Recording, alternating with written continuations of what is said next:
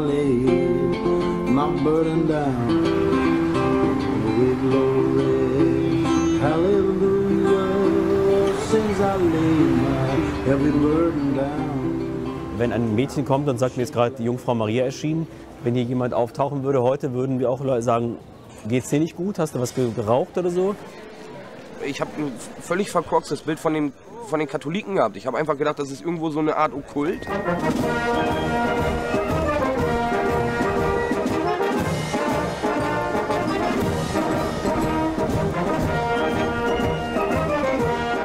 Urgroßvater bei der, Armee, mein Vater bei der Armee, mein Opa bei der Armee. Also eigentlich gab es nichts anderes für mich. Das ganze religiöse Dasein, das, ähm, es hat mich beeindruckt. Ich war auch vorher schon Christin, gläubige Christin, eben einer anderen Konversion und ich habe mich einfach zu etwas anderem hingezogen gefühlt, zugehörig gefühlt und das vollziehe ich jetzt gänzlich mit dem Schritt der, der Filmung. Der Friede sei mit dir.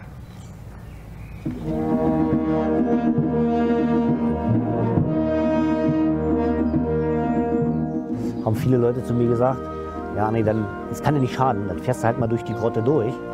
Und wenn bei dir auch ein Wunder passiert, dann ist schön und wenn nicht, dann eben nicht.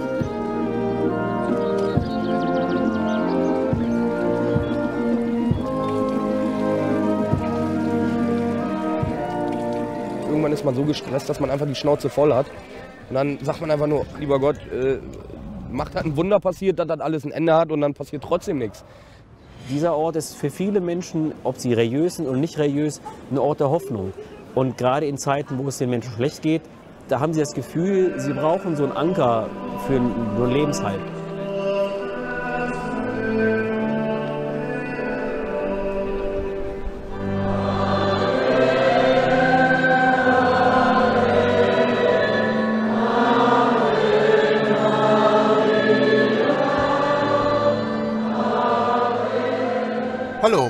Moin und alle herzlich willkommen zu einem neuen Video von Jörg Joggler 66 Stunde der Wahrheit. Wieder in Zusammenarbeit mit Marius aus der westdeutschen Gegend und Gerald aus der ostdeutschen Gegend. Und wenn ich sage Dresden, das wisst ihr ja, das ist ja kein Geheimnis. Und mit mir immer noch aus Belgien zur 75-23. Sendung, die mal irgendwie anfing mit Wolfgang Eggert. Wie wir da immer noch die Schrägstrich-Sendung machen, verstehe ich auch nicht. Aber zählweise ist auch egal. Wichtig ist, dies ist die nächste Folge. Und ich möchte diese Folge erstmal damit beginnen, mich zu entschuldigen für letzte Folge. Ich bin da ums Verrecken nicht auf einen Namen gekommen, weil ich da ein Zitat haben wollte, auf das ich auch ums Verrecken nicht richtig gekommen bin. Und das stört mich, das nagt an mir. Und das hat ungefähr, ich weiß nicht, 24 Stunden an mir genagt oder sowas. Und dann fiel es mir wie die berühmten Schuppen vor den Augen. Dann bin ich auf das Zitat gekommen. Das Zitat lautet in Englisch im Original. No one will enter the New World Order unless he or she will make a pledge to worship Lucifer. No one will enter the New Age unless he will take a Luciferian initiation. Unquote. Das ist von David Spangler und der war in einer Position als Vereinte Nation Direktor der Planeteninitiative, was auch immer das ist. Und ein jeder, der sich schon auf meine Lesung freut, am Kosmologiekonflikt, der kann darüber nur ganz doll und hart und laut lachen. Nun, diejenigen, die kein Englisch sprechen, sagen auch von, ja, kannst du das nicht in Deutsch sagen? Aber natürlich, meine Lieben, kann ich das in Deutsch sagen. Ich habe es ja übersetzt. Ich habe es in die Beschreibung des letzten Videos mit reingetan, das erst äh, ziemlich spät erscheint auf YouTube, erst am 3. Juli. Das ist noch ein bisschen hin, weil wir haben heute den 31. Mai. Aber ich habe es hier für euch ins Deutsche übersetzt und dieser David Spangler soll gesagt haben, ich sage das extra vorsichtig, weil eine Bestätigung von diesem Zitat irgendwo habe ich damals mit Michael vor Jahren schon gesucht und ich glaube nicht, dass wir das irgendwo gefunden haben. Aber es wird ihm halt zugeschrieben. Also, er sagt auf Deutsch, niemand wird der neuen Weltordnung beitreten, ohne dass er oder sie sich verpflichtet, Luzifer anzubeten. Niemand wird in das neue Zeitalter eintreten, es sei denn, er nimmt eine luziferische Einweihung an. Und ich habe euch dazu hier, wie ihr seht, ganz langer Link, den Suchterm eingegeben, so habe ich das gesucht und dann habe ich die Quelle von goodreads.com genommen und ich habe es halt selbst ins Deutsche übersetzt. das hat so an mir genagt, dass ich weder auf die richtige englische, auf das richtige englische Zitat kam, oder dass mir der blöde Name David Spangler nicht eingefallen war, dass ich dann halt hinterher sagte, da muss ich die nächste Sendung mit anfangen und da muss ich die Leute drüber informieren. Weil es geht ja darum, dass wir hier auch eben alle unsere Nachforschungsarbeit machen und ich musste halt in meinem Gehirn ein wenig nachforschen wann er das gesagt hat, wo er das gesagt hat, wie er das gesagt hat, ob er das gesagt hat. Wie gesagt, da gibt es keine eindeutige Information drüber. Aber wir wissen ja alle, dass jemand, der Jesus Christus bekennt, der Jesus Christus lehrt in dieser Welt und der Yahweh im Himmel anbetet, so wie Jesus Christus uns befohlen hat, wenn du betest, dann bete so, Vater unser, der du bist im Himmel und so weiter und so weiter dass diejenigen sicherlich nicht in der neuen Weltordnung willkommen sind. Und da wir ja letzte Sendung über diese Transformation gesprochen haben, wo wir ja gerade mitten in der Veränderung sind, ist es doch nicht gerade unwichtig, dieses Zitat hier einmal zu nennen. So, und das war meine Einleitung für heute. Nicht allzu lange, aber wichtig, dass ich das ähm, korrigieren konnte und dass ich euch das Zitat zeigen und vorlesen konnte. Und ihr findet es natürlich auch in der Beschreibungsbox des Videos, wenn es am 3. Juli erscheint. Es ist schon auf BitShoot erschienen und äh, da habe ich das glaube ich auch drin, da weiß ich jetzt aber nicht. Ist auch wurscht, weil dieses erscheint ja noch später, also ne, von daher ist es ja egal. Wir arbeiten wirklich in die Zukunft hinein. Wir machen Videos, die erst in wenigen Wochen erscheinen, weil wir da dem Plan ein wenig hinterherlaufen, weil wir so viel zu erzählen haben. Wir, das ist vor allen Dingen der Gerald, der hat so viel zu erzählen, dass er jede Woche drei, vier Skripts macht und mir hier rüber wirft. Und wenn ich ihm dann sage von Gerald, ich finde es wirklich wichtig, dass wir genau da weitermachen, weil wir letztes Mal aufgehört haben, weil das war so ein Cliffhanger, wie man im Englischen so schön sagt, ja, so auf die Spitze getrieben, interessante Information, die dann kommen würde, ja, jetzt dürft ihr natürlich dreimal raten, was sagt denn der Gerald zu meiner Bitte? Bitteschön. Bitte, natürlich habe ich deiner Bitte entsprochen, aber äh, es gibt eine kleine äh, Veränderung. Und zwar habe ich diesen Cliffhanger äh, etwas ähm, noch weiter vercliffhangert, wenn man das mal so sagen kann, und in einen ganz anderen Kontext nochmal gebracht. Und damit denke ich, dass dieser Cliffhanger nochmal zum noch mehr größeren Cliffhanger wird, also jetzt schon vielleicht äh, von der letzten Lesung her geworden ist. Deswegen. Dann, äh, bevor du dann loslegst, äh, ja. quetsche ich mich ganz schnell dazwischen, oder geht das? Ja, ja, ich wollte bloß noch den Satz machen. Ja, dann, das ist, dass ich einfach nur sagen wollte, dass, äh, dass wir dann diesen, diesen Punkt, auf den wir ja äh, dann in der letzten Sendung gekommen sind, nämlich über oder um die Beichte, dass wir das heute noch mal ein bisschen untermauern und noch mal ein bisschen mit Inhalt füttern. Und zwar jetzt haben wir den 31.05. auch mit einem aktuellen, äh, ja, äh, Inhalt, der euch bestimmt auch noch dann bekannt sein wird, wenn die Sendung ausgestrahlt wird. Aber dazu gleich nach Marius seinen Ausführungen. Hallo Marius. Hallo, guten Abend, danke.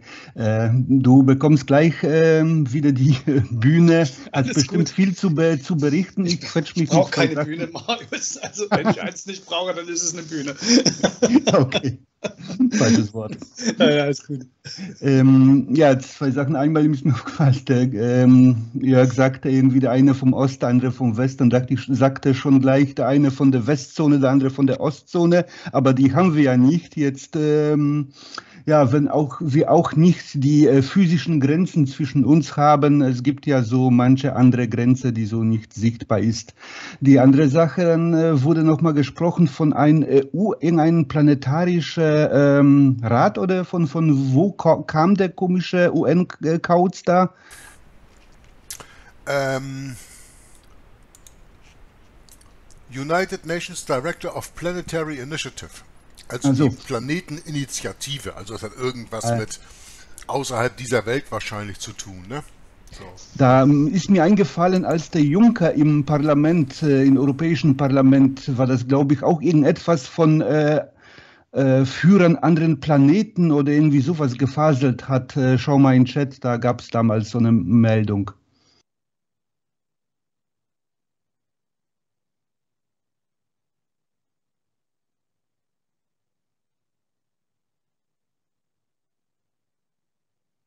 Also das scheint irgendwie bei den Führungskräften da oben schon ein Thema sein, andere Planeten und so weiter. Naja, da war er vielleicht ein wenig äh, inspiriert äh, von Ronald Reagan, der ja Anfang der 80er Jahre davon gesagt hat, von stellen Sie sich mal vor, die ganzen kleinen Streitereien, die wir hier auf dieser Welt haben, nun stellen Sie sich mal vor, wir würden auf einmal einen gemeinsamen Feind gegenüberstehen.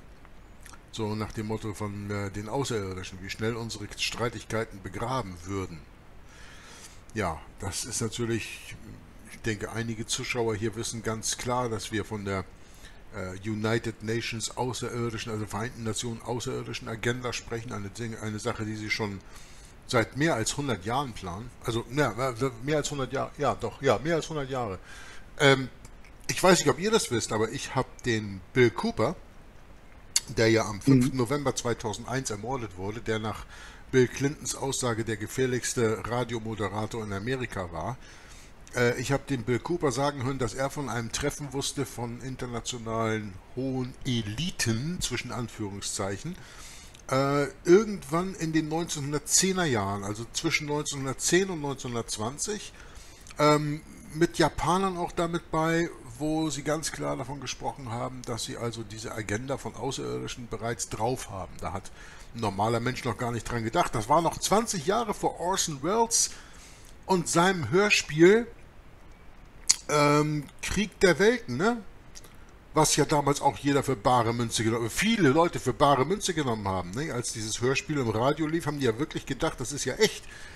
Heute, wenn man in Wikipedia das nachschaut, äh, dann wird das runtergespielt und da Informationen dazu gemacht werden. Ja, nein, also das, da ist keiner auf den Leim gegangen, das war alles. Äh, nein, nein, weitergehen, nicht schauen hier, das war nicht so. Im, Hinterher kann man das natürlich immer machen. Nee, aber damals war das wirklich so. Und da gab es ja hinterher noch Filme von alles. Aber das war noch davor. Also von Außerirdischen hat davor noch niemand jemals gesprochen. Äh, ich glaube, Jules Verne hat auch nicht davon gesprochen mit seiner Reise zum Mond, die er irgendwann im Ende des 19. Jahrhunderts bereits geschrieben hat. Aber das ist schon sehr alte Agenda. Und der Junker ist hier vielleicht inspiriert gewesen von den Worten von Ronald Reagan. Und wenn ihr wissen wollt, welche Worte von Ronald Reagan das waren, das könnt ihr ganz einfach in eine Internetsuchmaschine eingeben. Ähm, Ronald Reagan's Speech on Aliens, würde ich mal sagen. Würde ich jetzt mal eintippen. Also können wir ja mal machen. Ne? Ist die Frage ja jetzt, ob, sie, ob Ihre Agenda, was die Außerirdischen angeht, nur die psychologische Kriegsführung im Sinne von äh, Medien äh, und, und ähm, naja, ähm, geistige Beeinflussung ja. ist und ob sie es wirklich dann auch so physisch, ja, in Anführungszeichen physisch, physisch mit Simulationen dann bewerkstelligen, bewerkstelligen wollen. Hier, du hast das sogar als Video von C-SPAN. C-SPAN, ich muss den Ton gleich einschalten. Machen wir gleich mal, ne? C-SPAN mhm. ist ein offizieller amerikanischer Kanal, der also äh, Live-Übertragungen aus dem Kongress und sowas bringt. Ne? Also das ist hier nicht irgendwie Verschwörungstheorie oder so. Ähm, lass uns doch mal eben reinhören. Was sagt er denn hier? Forget how much unites all the members of humanity. Perhaps we need some Ach Mensch, warum funktioniert outside universal threat to make us recognize this common bound. I occasionally think how quickly our differences worldwide would vanish if we were facing an alien threat from outside this world. werde das jetzt mal eben übersetzen, äh, soweit ich das kann. Also er spricht hier von den Vereinten Nationen, das seht ihr, ganz klar. Ja? Er sagt hier am Anfang... Unites all the members. Of, much unites. Moment. Get how much unites all the members of humanity. Ja, also irgendwas, das, da ist jetzt rausgeschnitten davor, was eben die äh, Menschheit vereinigt, sagt er. Perhaps we need some outside universal threat. Vielleicht brauchen wir ein, eine universale Bedrohung von außerhalb, to make us recognize this common bound. Dass wir diese Gemeinschaften, diese, diesen, dieses gemeinschaftliche Band, das, als unter, äh, das uns unter, untereinander verbindet, erkennen. I occasionally think how quickly our differences worldwide. Ich denke manchmal, wie wie hat er das jetzt gesagt? Warte mal. Occasionally think how quickly Our differences Ja, ich denke, äh, ich denke manchmal darüber nach, wie schnell würden eigentlich unsere Differenzen beigelegt werden, worldwide would vanish if we were facing an alien threat wenn wir eine außerirdische Bedrohung äh, gegenüberstehen würden, from outside this world. außerhalb dieser Welt halt. Ne? And yet I ask you, is not an alien force already among us? Und trotzdem frage ich Sie, ist nicht bereits eine außerirdische Bedrohung unter uns? Also jetzt könnte ich hierüber eine eigene Sendung machen. Das, was er hier sagt, ist im Grunde die Menschen darauf hinweisen, dass eine nicht von der Außererde, aber außeramerikanische Macht oder Kraft eigentlich in Amerika die Geschicke lenkt und steuert. Das ist nämlich das Papsttum. Soweit würde er aber niemals gehen. Man muss übrigens wissen, dass seine Frau, ähm, jetzt komme ich im Augenblick nicht mehr auf den Namen, ähm, wie die hieß, äh, seine Frau war Kundin bei einem Sternendeuter, Wahrsager. Darüber hat Michael auch gerade mal gesprochen in der Musikagenda damals. Hören wir mal weiter rein. What could be more alien to the universal aspirations of our peoples than war? Was könnte denn mehr eine, außer, äh, eine, eine fremde Bedrohung für uns sein als diese Bedrohung des Krieges? and the threat of war. Und die ja, Bedrohung Two Krieg centuries ago in a hall much smaller than this one, Also vor äh, 200 Jahren in einer Halle, die viel kleiner war als diese hier, weil der Kongress natürlich hall much smaller than this one, in Philadelphia. In Philadelphia. Ja, jetzt spricht er darüber, über die Unabhängigkeitserklärung, wie sie damals da zusammenkamen und so weiter und so weiter. Nee, aber ich meine, der, der Anfang hier, das ist doch schon mal äh, ziemlich aussagefähig. Ne? Aber dann schau mal den, äh, den Zitat vom Juncker, was er da gesagt hat, äh, in welche das Richtung geht. Im äh, Chat äh, habe ich nochmal Ausschnitt. Ja, also übersetzt sagt Juncker hier Zitat, das britische Votum hat einige von unseren zahlreichen Flügeln abgeschnitten, aber wir fliegen weiter. Wir werden unseren Flug Richtung Zukunft nicht abbrechen.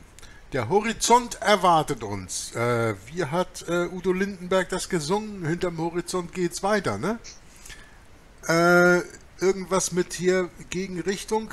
Das kann ich nicht lesen, da ist dieses blöde Facebook-Ding da im Bild.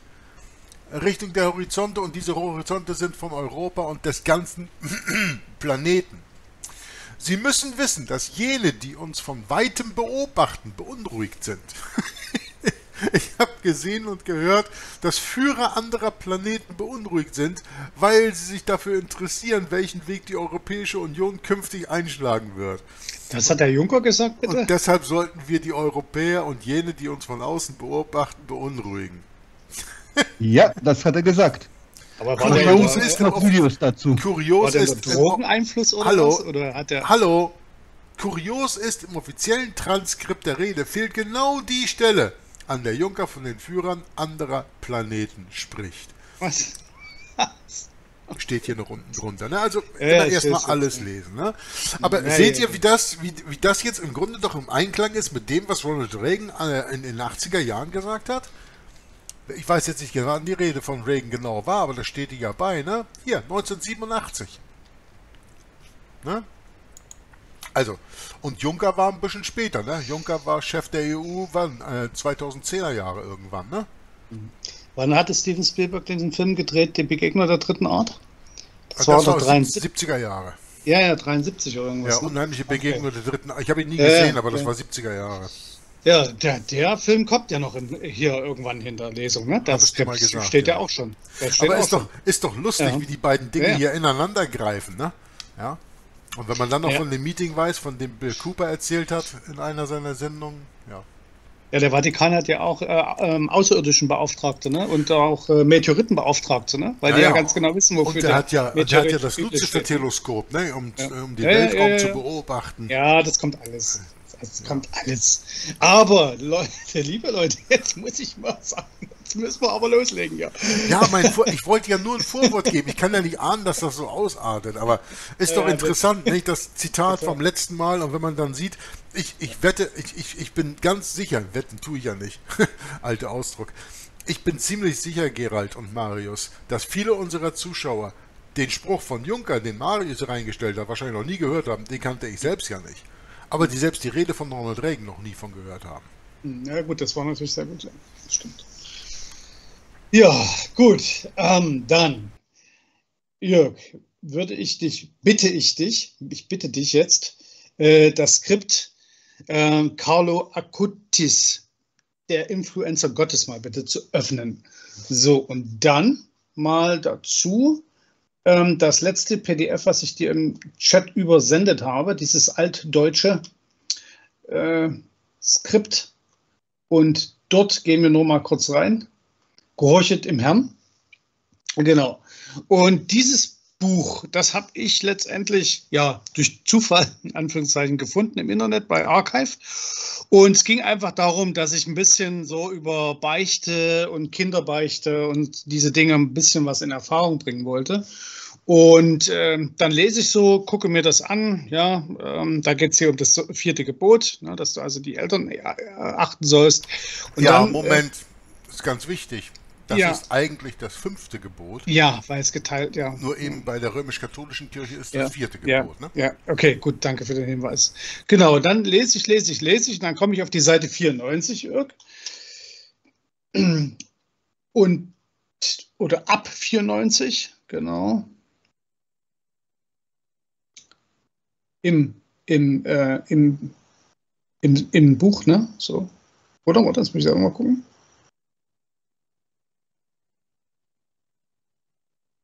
Wo ist es denn? Ja, genau. Genau, 94, 95 und hier ist es auf der Seite, ja genau, hier ist die Überschrift auf der Seite und ein Stück zurück, 92 ist es genau. Da geht es, die Seite 2, noch ein Stück hoch einfach. Da geht es um einen gewissen Johannes Berchmanns, ja, ein oder aus der Gesellschaft Jesu, ein Vorbild der Jugend. Ja, unter das und der, der Überschrift der ehrwürdige Diener Gottes. Und da habe ich mir so gedacht, das klingt doch schon so ein bisschen so ähnlich wie diese Terminologie, die bei dem Akutis äh, jetzt aktuell ja in aller Munde ist. Ja, der sogenannte Influencer Gottes soll er ja sein. Und das hat mich natürlich jetzt ähm, gestern, also auch wieder ganz aktuell, dazu veranlasst, hier mal ein bisschen rumzulesen. Und wenn ihr euch das hier so mal anschaut, ihr könnt ja mal so ein bisschen überfliegen, ja, dann seht ihr hier, dass das halt ein junger Mann gewesen ist, der mehr oder weniger ja, in äh, den Dienst der Jesuiten gekommen ist, ähm, dort ja ausgebildet wurde und ähm, aufgrund seiner, ich sage mal, seiner hervorragenden Eigenschaften, ja, ähm, eben sich schnell so ein bisschen als ähm, ja, ein Vorbild ähm, herausgearbeitet hat. Und wenn ihr dann mal guckt auf der Seite äh, 95, na, da steht dann zum Beispiel, ne, dass er eben so eine Freude hatte und so ein, ja, eine Heiterkeit, dass man eben auch, äh, wenn man über ihn gesprochen hat, den heiligen Heiteren oder den heiteren Heiligen zu nennen pflegte. Also er hat damals schon zu Lebzeiten ja so einen äh, Status gehabt unter seinen Jesuitenfreunden, dass er eben dort ja, äh, ja ein Vorbild an, eben auch für alle anderen gewesen ist. Ne? Und da heißt es hier weiter, Johannes empfand ein ganz besonderes Verlangen, ja, da eben für seine Fehler eben besonders bestraft zu werden oder besonders darauf hingewiesen zu werden. Und das hat er eben dann durch seine Beichtväter äh, eben ja auch wirklich dann so ausgelegt, dass er da immer auf die Knie gefallen ist und dann dankbar war, wenn man ihm wieder einen Fehler nachweisen konnte. Und dann hat er eben ein sehr gottesfürchtigen, Anführungszeichen, gottesfürchtiges Leben geführt. Und äh, das ist im Prinzip das, was ich schon jetzt sagen kann, als eine direkte Parallele zu dem äh, Carlos Acutis äh, gesehen habe. So, Jörg, willst du, findest du hier noch was Interessantes oder sonst würde ich nämlich das einfach mal aus, außen vor lassen, es sei denn, du findest ja noch, sagst, ah, das ist ja was total Interessantes. Ich habe jetzt eben ein bisschen Ja. rumgelesen hier, während du erzählt hast, aber nee, nicht so direkt, da kann Nee, ich nee. direkt drauf springen. Nee, nee, genau, also das ist, deswegen, Jörg, gehen wir wieder ins Skript zurück. Interessant ist, dass er in Diest geboren ist. Das ist so äh, ja, 25 Kilometer von mir hier weg. Das ist interessant, ja, wir kommen heute auch nach Belgien, wir kommen auch äh, heute Nähe so von- in deine Region. In der Nähe von Scherpenhövel und in Scherpenhövel ist eine äh, Basilik. Ähm, der Heiligen Jungfrau natürlich und da pilgern die Menschen heute immer noch hin. Also von daher. Aber mehr habe ich jetzt nicht da direkt gesehen. Nee. Ja, mal gucken, mal gucken. Vielleicht finden wir noch was. Ich habe auf jeden Fall im Skript was vorbereitet. So, Jörg, jetzt bitte das Skript. So, und da heißt es aktuell, ja, vom 24. Mai eine Meldung von dem Vatican News, dass Franziskus ähm, einen, ja, im Vatikan einen internationalen Verband des Jesuitenordens für Bildungsseelsorge ähm, empfangen hat. Und dort heißt es, dass der heilige Ignatius, Gründer des Ordens, dem auch der Papst natürlich selbst angehört, habe im 16. Jahrhundert schnell entdeckt, was für ein immenses Evangelisierungspotenzial ja, das ist seine eigene Aussage. Ja, ein immenses Evangelisierungspotenzial im Schul- und Bildungswesen stecke. Im Laufe der Zeit hätten Jesuitenschulen Großes geleistet. Das sei nicht die akademische und intellektuelle Strenge das Entscheidende, sondern dass Jesus im Mittelpunkt steht. Ja, gut, jetzt muss man dazu wissen natürlich, dass äh, die Jesuiten nicht den Jesus der Bibel anbeten, sondern einen anderen Jesus. Ja, das ist ganz klar. Wer sich damit äh, befasst hat, weiß das natürlich. Ne, ich erwähne das bloß trotzdem nochmal. Und jetzt gucken wir mal weiter runter. Ja, also es geht um Schul- und Bildungswesen. Ja, und jetzt gucken wir uns mal den Carlo Acutis an, der von 1991 bis 2006 äh, gelebt hat und hier laut Wikipedia ein äh, computerbegeisterter italienischer Jugendlicher war, der mit 15 Jahren an Leukämie starb. Übrigens ist das sehr ähm, einprägsam, dass die katholischen Heiligen alle sehr früh sterben. Ja, das ist also auch eine Sache, da würde ich jetzt schon mal vorsichtig darauf hinweisen, das ist sehr auffällig. So, er war tief religiös und wurde unter anderem dafür bekannt, sogenannte eucharistische Wunder zu dokumentieren und auf einer Website zu katalogisieren. Ne? Wie gesagt, im 2006 ähm, ist er verstorben, das heißt also, das war noch zu Anfängen der, des Internets und ähm, da war das halt für so jemanden schon eine besondere Leistung, zumindest meint das die katholische Kirche. So, dann heißt es weiter. Seine Kindheit war geprägt durch ein intensives religiöses Leben, das sich besonders in häufigen Besuchen der Heiligen Messe ausdrückte, die er aus eigenem Antrieb einforderte. Ab 97 besuchte Carlos Acutis die Grundschule ähm, äh, am Tomaseo-Institut der Marcellus-Schwestern. Am 24. Mai 2003 empfing er das Sakrament der Firmung in seiner Pfarrei Santa Maria Secreta. Im September 2005 wechselte er auf das Jesuitengymnasium Institutio Leone den 13. in Mailand. So, also er ist jesuitisch ausgebildet. Und dann heißt es hier in Wikipedia weiter. Mit elf Jahren erstellte Karl eine, ein Online-Verzeichnis, das Verzeichnis, das 136 überlieferte sogenannte eucharistische Wunder aus allen Kontinenten sammelte und katalogisierte. Die von seinen Anhängern nach seinem Tod daraus entwickelte Ausstellung wurde in zahlreichen Sprachen übersetzt und in fast 10.000 US-amerikanischen Pfarreien sowie in den Wallfahrtsorten Fatima, Lourdes und Guadalupe gezeigt. So, 2014 erschien posthum das 2006 von Karl Acutis initiierte Online-Verzeichnis von der römisch-katholischen Kirche anerkannter Marienerscheinung. So geht das weiter, so geht das weiter, so geht das weiter.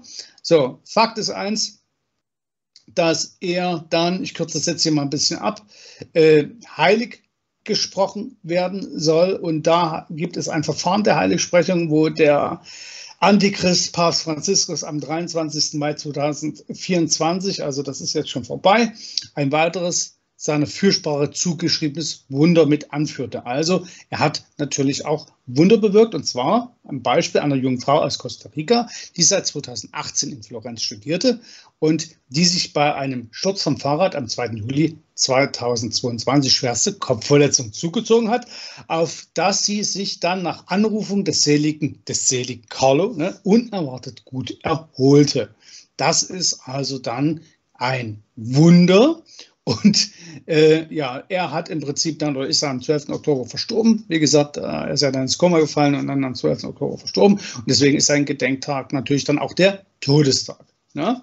So, und dann, als es hier weiter wurde, dieser Leichnam Akutis, ne, der wie gesagt 2006 verstorben war, 2019, also schlappe 13 Jahre später, aus der Gruft in Assisi gehoben und exhumiert. Unmittelbar anschließend wurde auf den sozialen Medien behauptet, akutes Leichnam sei unversehrt gewesen. Also nicht verwest auf Deutsch. Auch Carlos Mutter und der Postulator des Seligsprechungsverfahrens Nicola Gori hatte dies verbreitet. So, das Ausbleiben der Verwesung eines Leichnams wird in traditionellen katholischen Vorstellungen als übernatürlichen Hinweis auf die Heiligkeit eines verstorbenen Menschen aufgefasst. So, der Bischof von Assisi, äh, Domenico Sorrentino, stellte später richtig, Acutis Körper sei schon, also sei nicht unversehrt aufgefunden worden, sondern habe den normalen Prozess der Verwesung durchlaufen und sei mit Kunst und Liebe wieder zusammengefügt worden. So, jetzt gucken wir uns mal das Ergebnis an. Und ich finde das jetzt erstmal schon, wie gesagt, für, ja, wir machen hier keine Nekromantie, aber äh, wie gesagt, wir müssen hingucken. Ja, äh, das finde ich schon beachtlich, was dort äh, geleistet wurde, in Anführungszeichen. Einen Leichnam, der 13 Jahre in einer Gruft gelegen hat, so wiederherzustellen, als würde dieser junge Mann hier tatsächlich auf dem Bett liegen und schlafen. Ne? Also das ist schon mal der erste Punkt. So. Ein anderer dann, wichtiger Punkt ist, dass sie ihm hier den Rosenkranz über die Hände ja, gemacht haben. Natürlich, ja, ja, ja. Das war auch sein, sein täglicher Begleiter gewesen, ne? weil er hat natürlich Marienanbetung äh, betrieben und äh, ist auch regelmäßig zur Beichte gegangen und so weiter und so weiter. Also er war da wirklich voll drin, ja, und er hat das also wirklich da gelebt. Ja, und dann geht es hier weiter. Also mit diesem Leichnam, äh, der wurde hier zur Schau gestellt. Also ne, manche sagen eben, das ist Nekrophilie, das ist so Totenanbetung. Ja.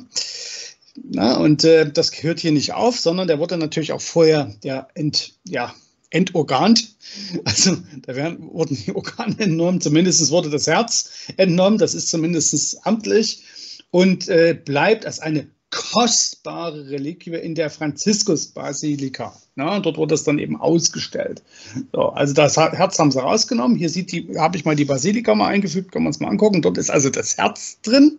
Ja, so der Leichnam selber wurde aber auch in einem Holzsack in der Kathedrale von Assisi zur öffentlichen Verehrung ausgestellt. Das gucken wir uns unten mal an. Das ist die Kathedrale von Assisi. Also dort ist der Rest von ihm aufgebahrt. Äh, ja, und dann, wie gesagt, dem ist noch nicht, ne, das ist noch nicht zu Ende, wurde er sozusagen am 6. April 2019 äh, entsprechend eigens in einem Sargmonument äh, in Assisi wieder beigesetzt. Und das ist dann da unten zu sehen. So, und damit das nicht so verwirrt ist, habe ich das jetzt nochmal zusammengefügt. Darf ich da mal kurz einen Kommentar zu geben? Achso, du hast geräuspert. Entschuldige, ich verstehe das. nee, nee, ich habe, ja.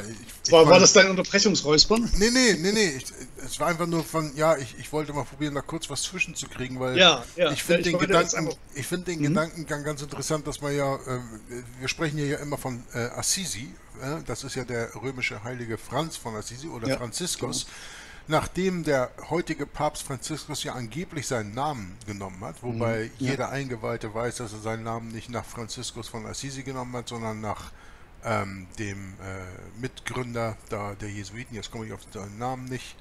Ähm, Xaver? Nee, oder? Nein. Ja, jedenfalls, ja, jedenfalls hieß der auch Franz, Franziskus, wie auch immer. Ja, Franz ja, ich, Franziskus Xaver kann, Franzis Xavier kann das gesehen haben. Ja, ich, ich weiß mhm. es nicht mehr. Äh, ich habe echt wirklich nicht mehr alle Dinge so ständig im Kopf. Nur, ähm,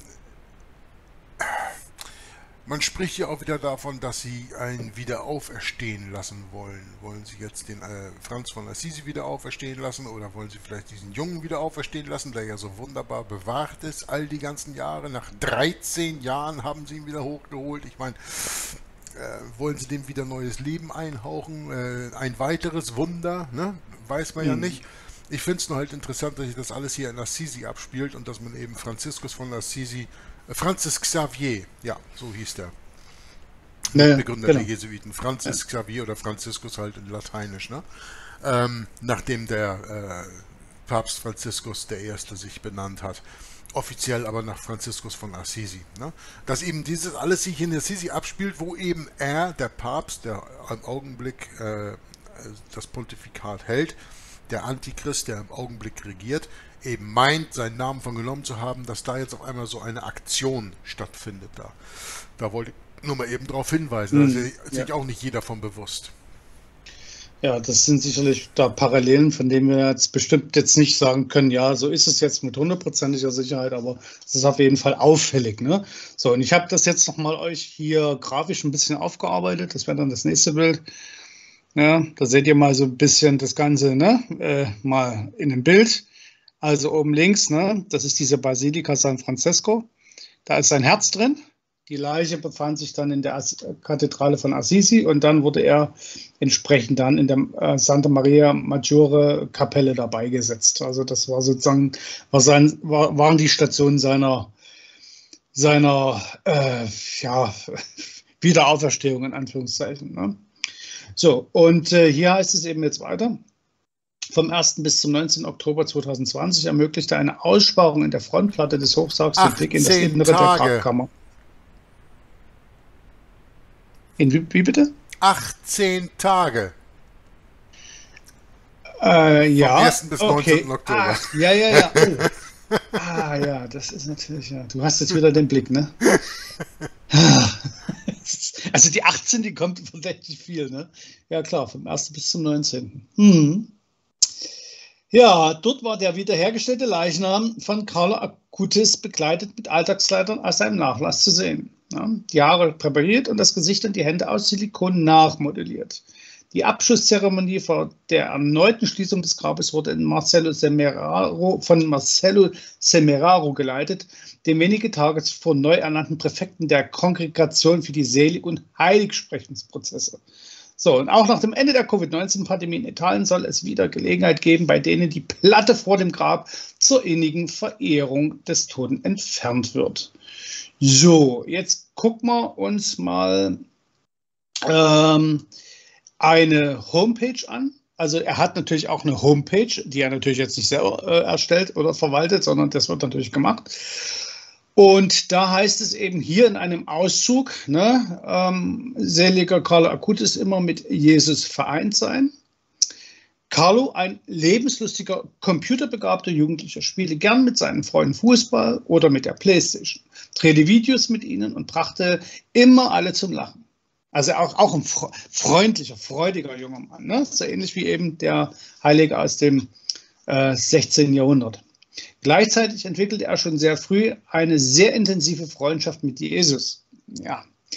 Tägliche Quellen waren ihm die heilige Messe, die eucharistische Anbetung, Anrufung, der Rosenkranz, seine Liebe zur Mutter Gottes. Oh, Ich, ich habe das jetzt hier nicht grün gemacht, entschuldige bitte, aber ne, sonst ist das alles grün. Sein Gebet für die armen Seelen, die Freundschaft mit seinen Schutzengeln und vielen Heiligen und natürlich die wöchentliche Beichte. Ne? So, und äh, die Beichte war auch äh, ein Thema bei dem, wie ist er gleich nochmal, Bechmann, Bechter, Heiliger, ja, äh, wie er, wie er, wie ja, Johannes Berchmanns, so hieß er auch. Ne?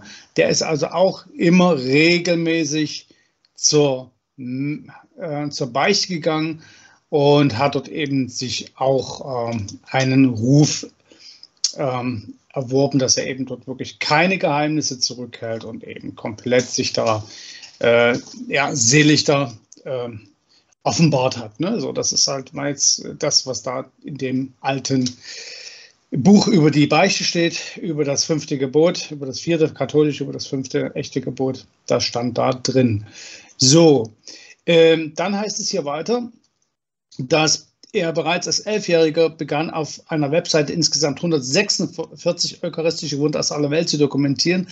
Ich hatte in Wikipedia, ich will jetzt hier nie rumnerven, aber 136 eucharistische Wunder gelesen. Ich weiß nicht, wie weit man da genau ist mit diesen Wundererscheinungen. Ja. Auf jeden Fall ist das hier ein bisschen ja, unsauber. Ich weiß jetzt nicht warum. Und auf jeden Fall ähm, ist er eben, ja, wie gesagt, selig gesprochen und die Heiligsprechung, die läuft noch so. Du weißt, Da doch, geht das du weißt doch, wie das ist, ne, Gerald. Man kann sie nicht zwingen, die Wahrheit zu sagen, aber immer Ja. dreister zu lügen, nicht? Und Ja, oder da so. werden eben aus 136 ganz schnell 146 und die meisten wissen das nicht mehr. Ja, aber sowas fällt natürlich nicht auf, wenn du das einfach mal liest. Das, merkst du dann nur, wenn du so diese Informationen in so ein Skript reinpackst, dann siehst du, äh, Moment. Und wenn du äh, verschiedene Quellen miteinander vergleichst und reinschreibst und auf einmal siehst, von warum steht in der einen Quelle dies, in der anderen Quelle das. Ja, genau. richtig. Weil Also sie sich eben widersprechen, weil sie die Wahrheit nicht in sich haben.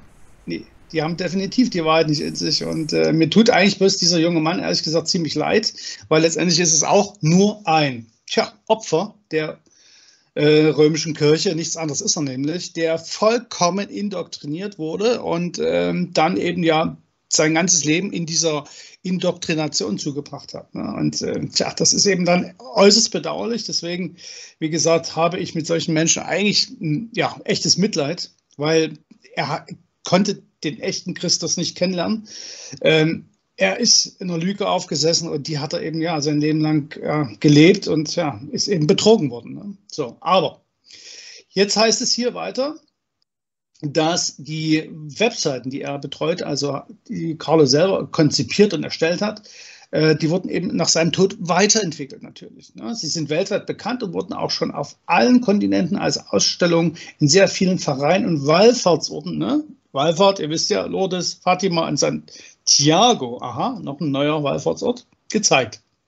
Sein Anliegen war es, den Menschen zu zeigen, dass Jesus real in der heiligen Eucharistie gegenwärtig ist. Das ist Äh, dieses Opferritual. Santiago, Moment, Moment. Santiago ist kein neuer Wallfahrtsort. Hier geht es um Santiago de Compostela. Das ist in Spanien, Alles den sogenannten Jakobsweg. Ne?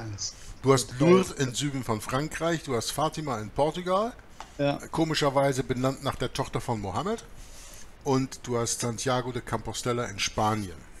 Ne? Also das ist nicht neu, das ist nur dir jetzt vielleicht nicht so Okay, geläufig. Gut, gut, gut, gut, gut.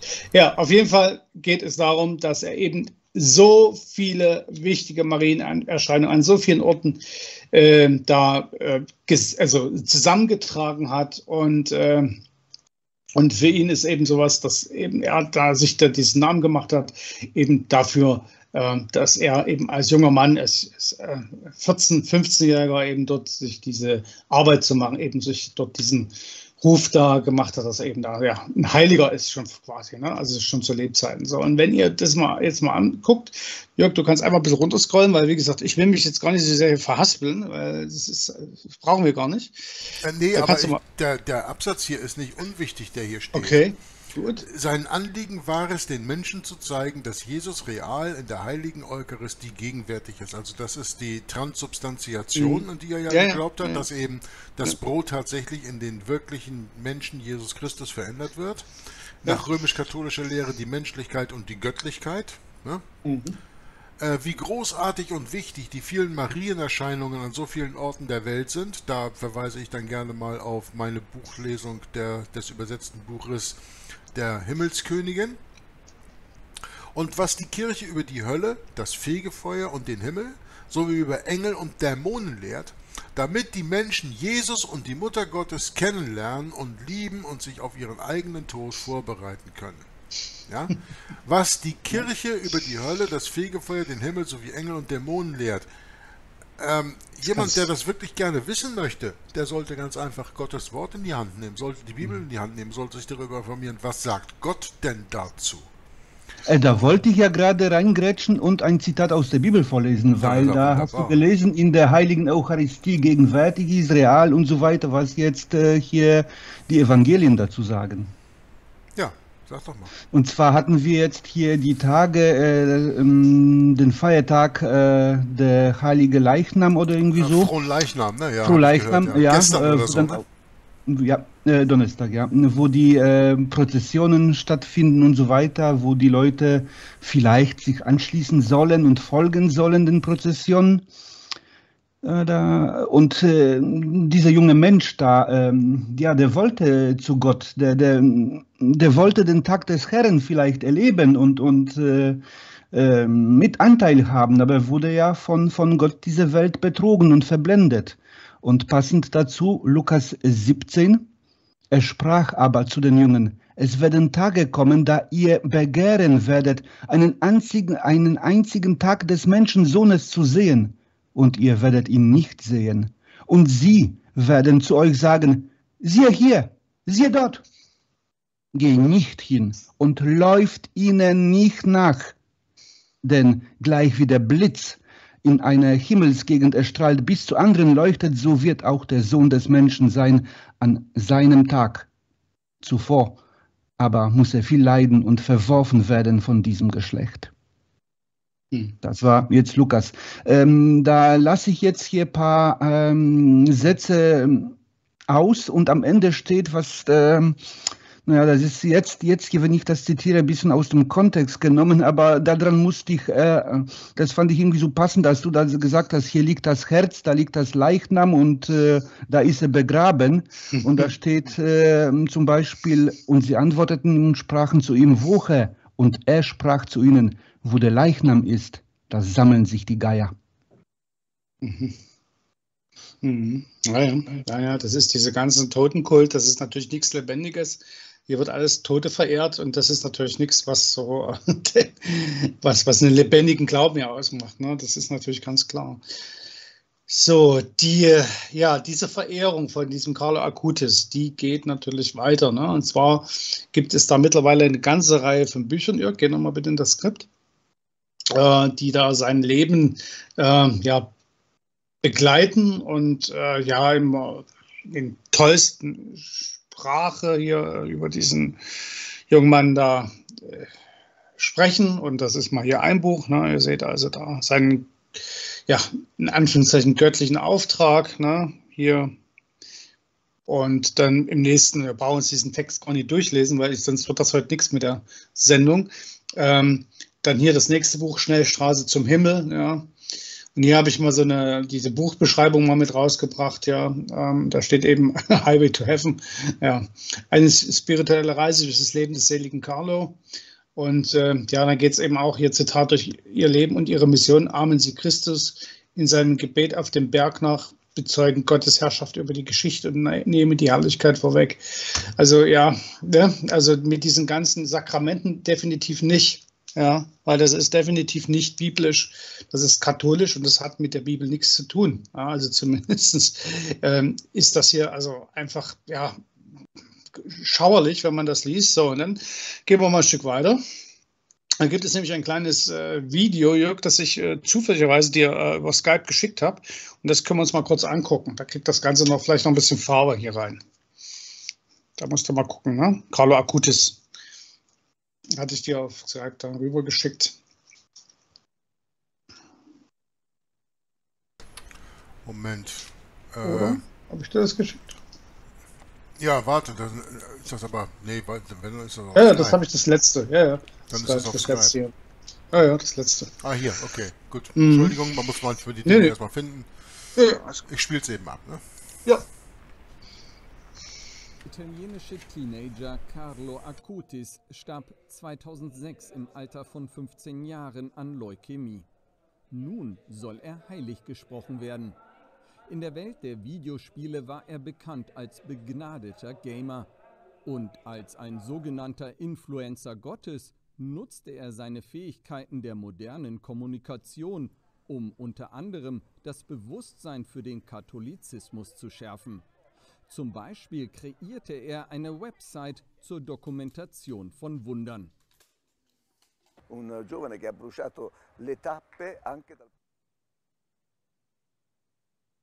Ja, Entschuldigung, das ist live.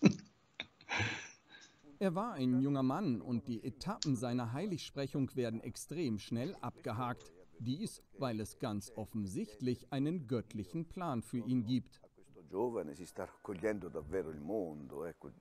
Es existiert kein Kontinent, auf dem nicht über sein Leben berichtet wird, auf dem nicht seine Slogans wiederholt werden. Er war zudem ein sehr intelligenter Junge, der das Internet liebte. Ein Junge unserer Zeit, der mit der Geschwindigkeit von Tweets sprach, wie es unsere jungen Leute nun mal tun. 2020 wurde Carlo Acutis in Assisi, seinem Begräbnisort, selig gesprochen. Zwei Wunder wurden ihm bereits zugeschrieben. Die Heilung eines brasilianischen Jungen mit einem Geburtsfehler Und darüber hinaus überstand ein Mädchen in Costa Rica ein Schädelhirntrauma, nachdem ihre Mutter am Grab von Acutis in Assisi für ihre Genesung gebetet hatte. Nächster Schritt auf dem Weg zur Heiligsprechung ist nun eine Zusammenkunft der Kardinäle, die über den Status und das Datum der Kanonisierung entscheiden werden. Acutis könnte daher womöglich von der römisch-katholischen Kirche zum Schutzpatron des Internets ernannt werden. Hm. ja. ja. Schutzpatron des Internets, ne? Ja. Ja, habt ihr irgendeine Bemerkung noch zu diesem Video? Mir fehlen manchmal die Worte. okay. Aber wie gesagt, ähm, das, äh, das Gesicht und die Hände wurden aus Silikon und so nachgestaltet. Ne? Also nicht vergessen, ja. da liegt im Grunde eine Silikonpuppe vor euch für das, ja. das was ihr seht natürlich. Ne? Aber das verweste Gesicht kann man natürlich nicht zeigen, weil dann würde dieses kleine Mädchen da nicht so reinschauen, sondern würde sich schreiend abwenden mhm. davon. Aber ja, so ist das nun mal. Das ist reine Totenverehrung, das ist Nekromanzie, mhm. genauso wie Gott sie im Alten Testament den Israeliten verboten hat. Mhm. Ja, und du siehst auch dieses kleine Mädchen da, ne? Es ist, diese Indoktrination ne, geht natürlich dann direkt wieder weiter. Ne? Da werden die Kinder genau schon wieder äh, in, diese, in diesen Kult reingetrieben. Ne? Und äh, wie du schon gesagt hast, wenn dort eine echte Leiche liegen würde, ein natürlicher Prozess nach 13 Jahren, würde das Kind dort nicht so andächtig dastehen und gucken. Ne? Ähm, da hier wird ja im Prinzip auch gegen die Natur wieder natürlich, ne? das alles hier eingegriffen und wir wissen ja selber, dass der Herrscher der Welt dieser Welt ja auch alles gegen Gott unternimmt. Und da geht es eben auch darum, an Anführungszeichen den Tod zu besiegen. Ja, ähm, und äh, damit gebraucht er eben auch Tricks. Die ja, Bibel, zum Beispiel die Bibel spricht bei seinen Tricks von Zeichen und lügenden Wundern. Ja. Signs and lying wonders. Ja, äh, da braucht man sich gar nicht wundern. Wenn, wenn, wenn, man das Wort Gottes gelesen hat, meine lieben Brüder, und auch meine lieben Brüder und Schwestern vor dem Bildschirm, wenn man das Wort Gottes gelesen hat, dann wundert man sich gar nicht mehr, dass die Welt diesen ganzen Dingen hinterherläuft, weil die kennen das Wort Gottes nicht. Wer das Wort Gottes nicht kennt, kennt die Wahrheit nicht. Wer die Wahrheit nicht kennt, läuft der Lüge hinten an. So viel und so deutlich, dass man auch nicht merkt, dass aus 136 mal ganz schnell 146 wird.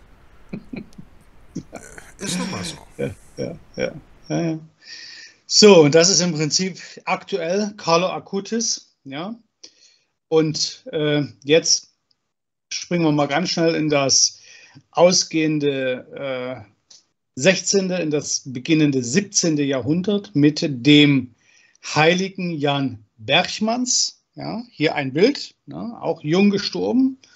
Ja, ich weiß jetzt nicht, er ist äh, 22 Jahre alt geworden. Ne? Ähm, Jan Berchmanns, ein, ein Stück weiter scrollst, ist es die Vita, war ein äh, Jesuit, und äh, ist 1599 geboren und 1621 in Rom gestorben. Genau, also auch sehr jung gestorben.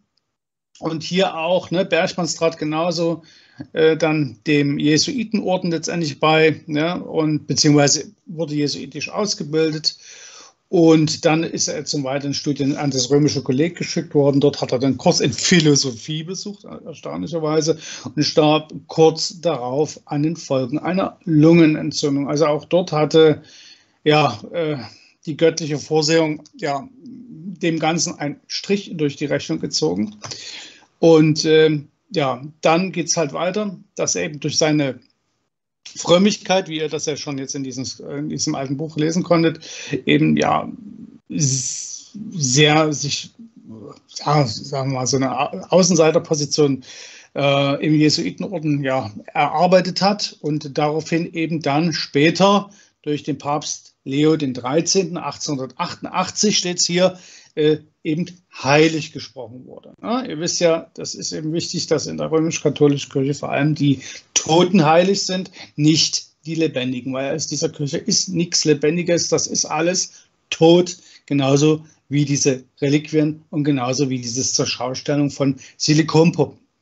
So, sein Leib wurde in St. Ignazio di Loyola in Campo Marzio in Rom beigesetzt. Sein Herz, aha, wird als kostbare Reliquie in der Kirche des Jesuitenkollegs in Löwen aufbewahrt. Na, Jörg, hast du das gewusst? Nee, habe ich nicht gewusst. äh, ich, Das, das, Ja. das Jesuitenkolleg, ich weiß nicht mal, wo das ist. Es gibt so ein Jesuitenhaus von Loyola in der Schapestraat Nummer 86 oder Nummer 90 oder was. Äh, kann sein, dass dahinter eine Jesuitenkirche ist. Das ist ja alles so voll von Jesuiten, da kriege ich gar nicht auf die Ja. Reihe. Aber ich werde mir das mal angucken. Ich werde mal sehen, ob ich euch dafür die nächste Sendung mal ein Foto von besorgen kann oder so. das ist mir auch hier ehrlich gesagt auf die Kürze der Zeit nicht richtig gelungen, das rauszufinden. Kann Also sein, dass das mal Jesuitenkollege wurde? Löwen, Jesuitenkollege Löwen kann man ja mal kurz auf Google suchen. Ne? Also äh, das wird man ja wohl finden. Ne? Jesuitenkolleg Löwen. Wobei interessant ist, Löwen ist hier wie der Löwe geschrieben, hat aber damit gar nichts zu tun. Bilder. Äh, ja. Mann, das dauert aber lange, bis die laden hier. Zu viel. Zu viele. Müssen wir erstmal vorsortiert, voll äh, zensiert werden. genau. Was habt ihr gelesen, was nicht? Okay, hier ist die St. Michaelskirche, also es ist die, Mhm. äh, ja, die Hauptkirche hier in Löwen, mehr oder weniger.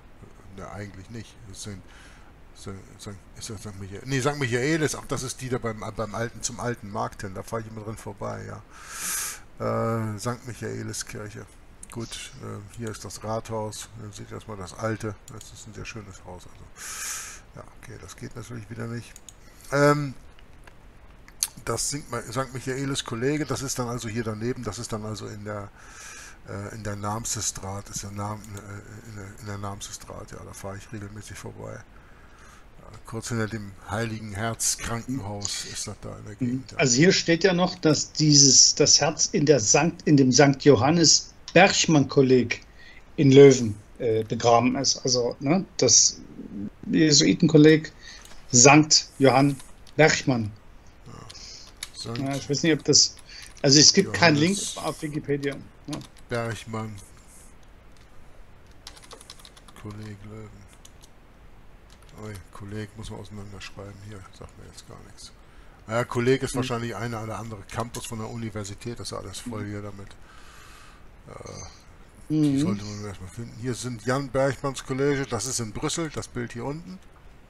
Das ist in Brüssel. Mhm. Das ist übrigens die Schule, wo äh, Van Rompuy drauf gewesen Ah. ist. Interessant. Mal eben, das mal eben dazu. Äh, Mhm. Ja, St. Bergmann hast du hier ein Foto von, aber hier Löwen, Benelux, Mhm. Deutschland. Da ist die bestimmt umbenannt worden, dieses Kolleg. Wahrscheinlich ist das jetzt eine allgemeinbildende Schule. Deutsches Architekturforum, Löwen, goldenes Mitglied. Wa- Ich akzeptiere überhaupt nichts. Ich bin ja schon froh, wenn du das auch nicht findest, weil ich habe es nämlich auch nicht gefunden. Ja, Das ja. ist, das ist schon mal beruhigend. Auf den ersten Blick zumindest. Ich äh, werde meinen Dispatcher morgen mal fragen und dann fahre ich da mit dem Taxi mal vorbei und nehme da ein Foto von, wenn wir das finden. Okay, gut. Aber ich habe noch was gefunden, Jörg, damit wir uns jetzt nie äh, tot suchen, weil so viel Zeit haben wir ja heute nicht. Ähm, ich habe noch eine Kapelle des heiligen Johann oder ja, Johannes Berchmanns äh, gefunden in äh, Löwen. Und Hat das er eine Maske an? ist, ja, ja, ja, ja, eine Maske ist auf, der großen Be auf dem großen Beginenhof 49. Na? Ja, ja, Und das ist auch Begeinhof, von der Öffnungsstraße Begeinhof auf kenne ich, da ist Be äh, Begeinhof kenne ich, das ist am, äh, am Ring und da hast du Ah. daneben hast du ein Hotel, Begeinhof Hotel stimmt. oder Kongress, Kongresshotel und Faculty Club, äh, wo Mhm. die Studenten oftmals irgendwelche feiern. feiern. Also Mhm. das das kenne ich, Mhm. da komme ich täglich Ja. dran vorbei am Grund Siehst du? Siehst du? Da hast du die Kapelle. Ne? Grund- Und da, Begeinhof, das hier mit den ganzen Nummern, dass ihr das mal wisst, das ist also so eine alte Siedlung da aus, den, aus dem Mittelalter, aus dem, ich glaube, das geht runter bis ins 13. Jahrhundert oder 14. Jahrhundert, äh, wo sie hier Wohnungen gebaut haben, wo die Leute da gewohnt haben. Das sind diese verschiedenen Nummern, die ihr hier seht. Das kann man sich angucken. Das ist halt so eine alte, Mhm. Ähm, ja, so eine alte Wohngegend, dann natürlich total katholisiert, ne? Also mit der Kirche dabei und äh, Mhm. Friedhof und was weiß ich nicht alles. Kapelle, hier Maria-Kapelle und sowas, ne? Ja. ja. Und dann gibt es noch ein äh, Berchmanns Kolleg in Pullach in Bayern. Das ist entweder ein Stadtteil von München oder äh, ist es außerhalb von München, weiß ich jetzt noch nicht so genau. Und da gibt es nämlich zufälligerweise ein Anrufungsinstrument, eine Orgel, ja, die seinen Namen trägt, nämlich die Orgel von St. Johann Berchmann, Pullach im Isertal. Und da habe ich mir doch gedacht, Das ist doch schon wieder sehr interessant. Ne? Ähm, diese in Anführungszeichen Zufälle, dass das alles irgendwie ineinander greift. Ne? Diese ganze Musik, Geschichte, die wir angefangen haben. Da sind wir ja auch noch mittendrin.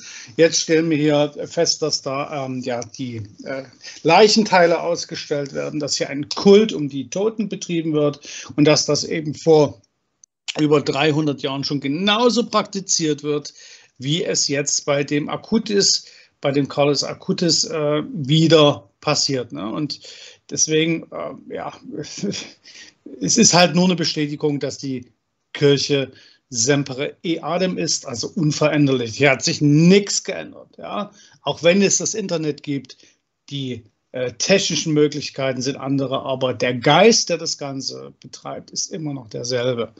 So, und deswegen hier nochmal zusammenfassend, ja, von dem Johann Bergmanns, also sein Herz liegt in der Basilika San Francesco, ja.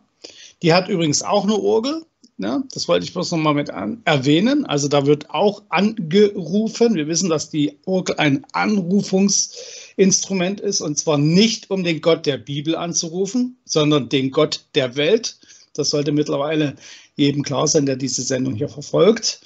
Und dann gibt es ebenfalls ein Anrufungsinstrument in der Kathedrale San Rufino in Assisi, wo seine Leiche äh, ausgestellt wurde. Auch dort gibt es ein Anrufungsinstrument Organ, eine Anrufungsorgel, die zufälligerweise 33 Register auf, verteilt auf drei Pfeifen äh, Division heißt das jetzt hier hat. Also ich bin jetzt kein Orgelspezialist, aber ich finde das auch mal interessant zu erwähnen. Also die Anrufung ist da auch musikalisch gegeben. Ja?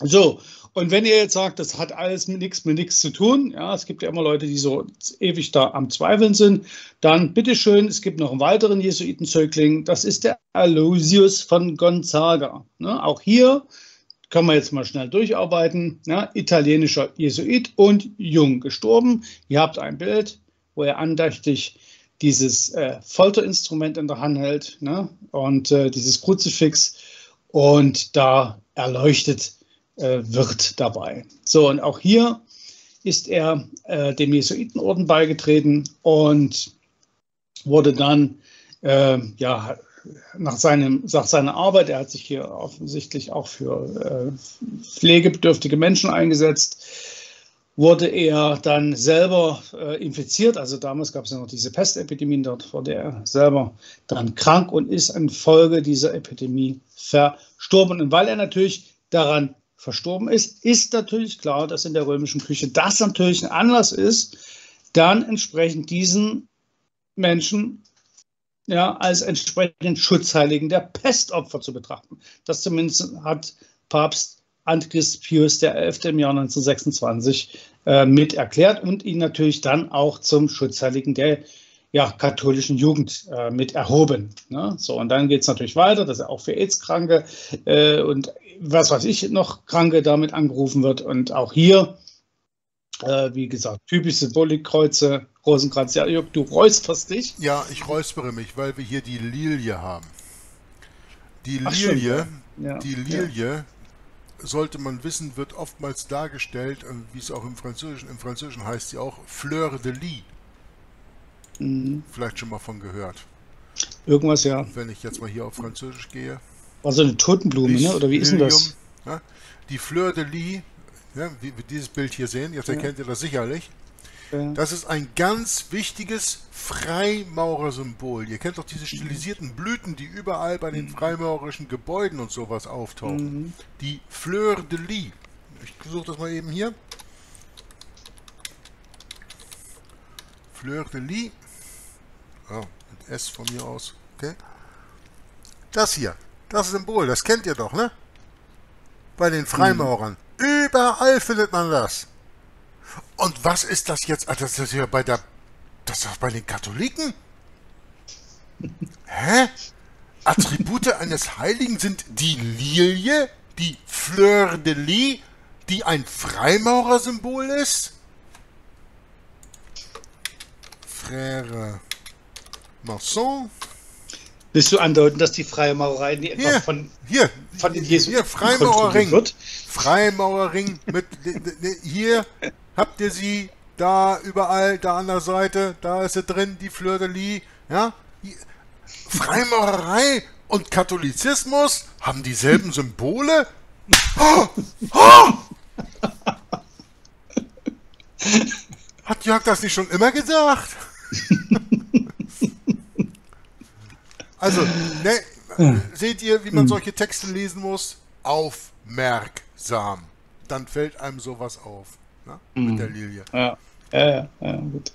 Gut, okay, ja, das ist äh, richtig. Das ist natürlich richtig. Ich hatte nur mal kurz dran gedacht, bin ich ehrlich. Aber ich habe es dann einfach im Zuge meiner weiteren Recherche, weil ich ja Angst hatte, dass ich das Skript dann zu groß mache und wir ja nicht auf den Punkt kommen, dann einfach mal nur aus den Gedanken wieder verloren, wie das manchmal eben so ist. Und deswegen bin ich natürlich weiter auf die Beichte gegangen, weil die Beichte, habt ihr ja gemerkt, ist ein ganz wichtiges Instrument, um entsprechend dann diesen Gehorsam anzuerziehen, ja, dieser sogenannte Kadavergehorsam, dass man sich selber abtötet und äh, also auch geistig abtötet, dass man eben zu einem Werkzeug der Oberen wird. Ne? Deswegen ist also die Beichte, Beichte das entsprechende äh, Sakrament, was ja die Katholiken ja brauchen, um entsprechend dann ja äh, erlöst zu werden. Und das ist natürlich äh, insofern für die äh, Katholiken ein echtes Problem, weil sie wissen ja nicht, was sie alles äh, tun müssen, wie viel sie tun müssen.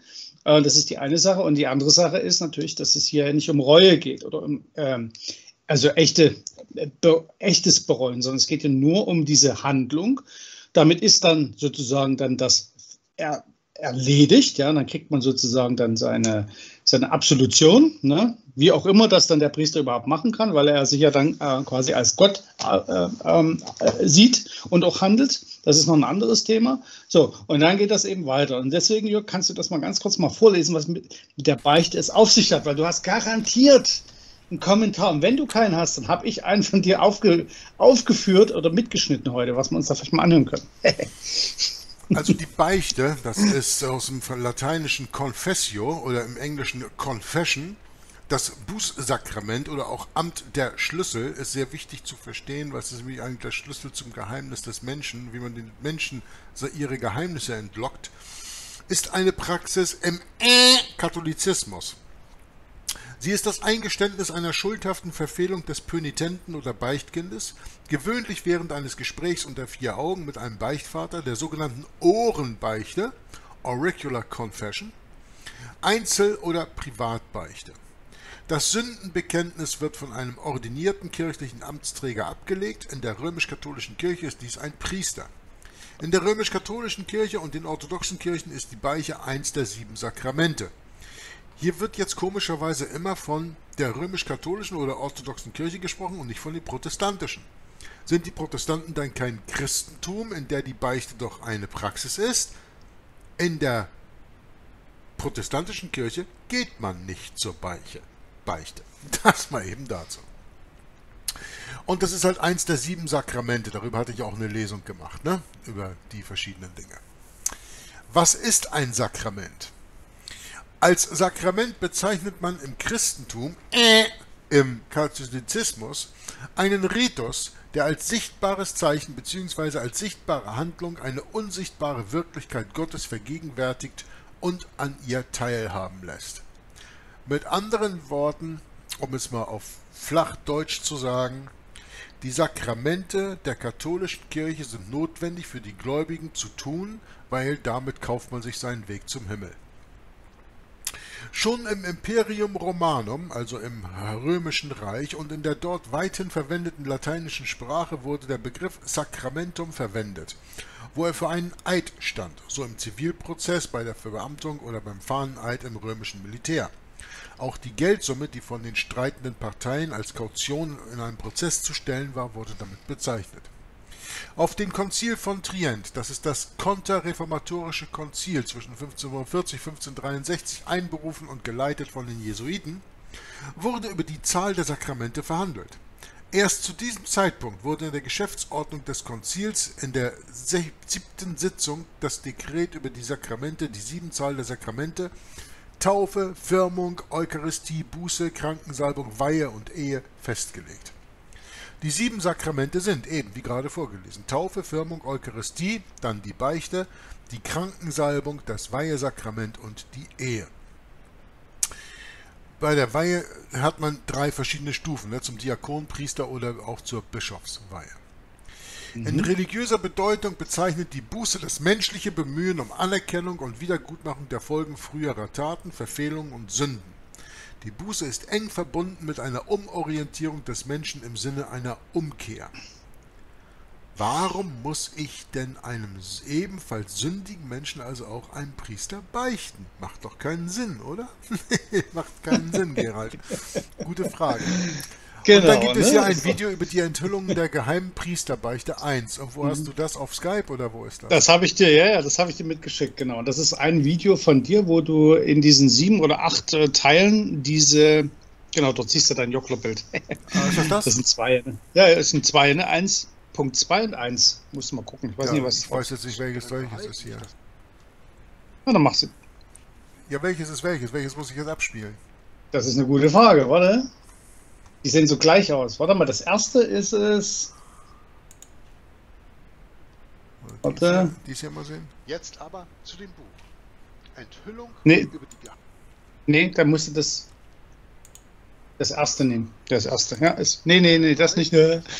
Das hier? Ja, nimm mal das. Das, okay. Ich mache den Ton ein bisschen lauter.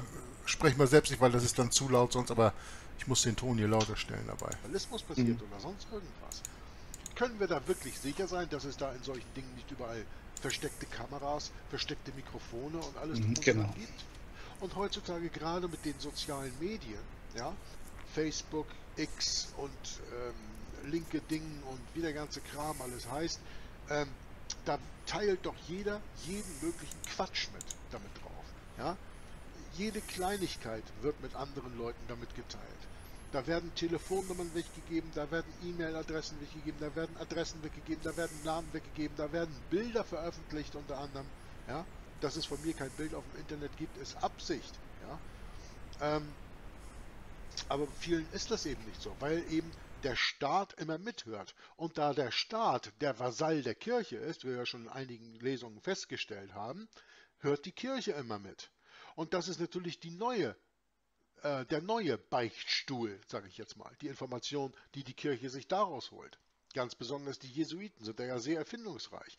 Die haben ja auch die Beichte zu dem gemacht, was wir oftmals hier jetzt auch in diesem Buch, wo wir jetzt jetzt lesen, lesen können, auch wenn die Jesuiten hier nicht explizit erwähnt werden.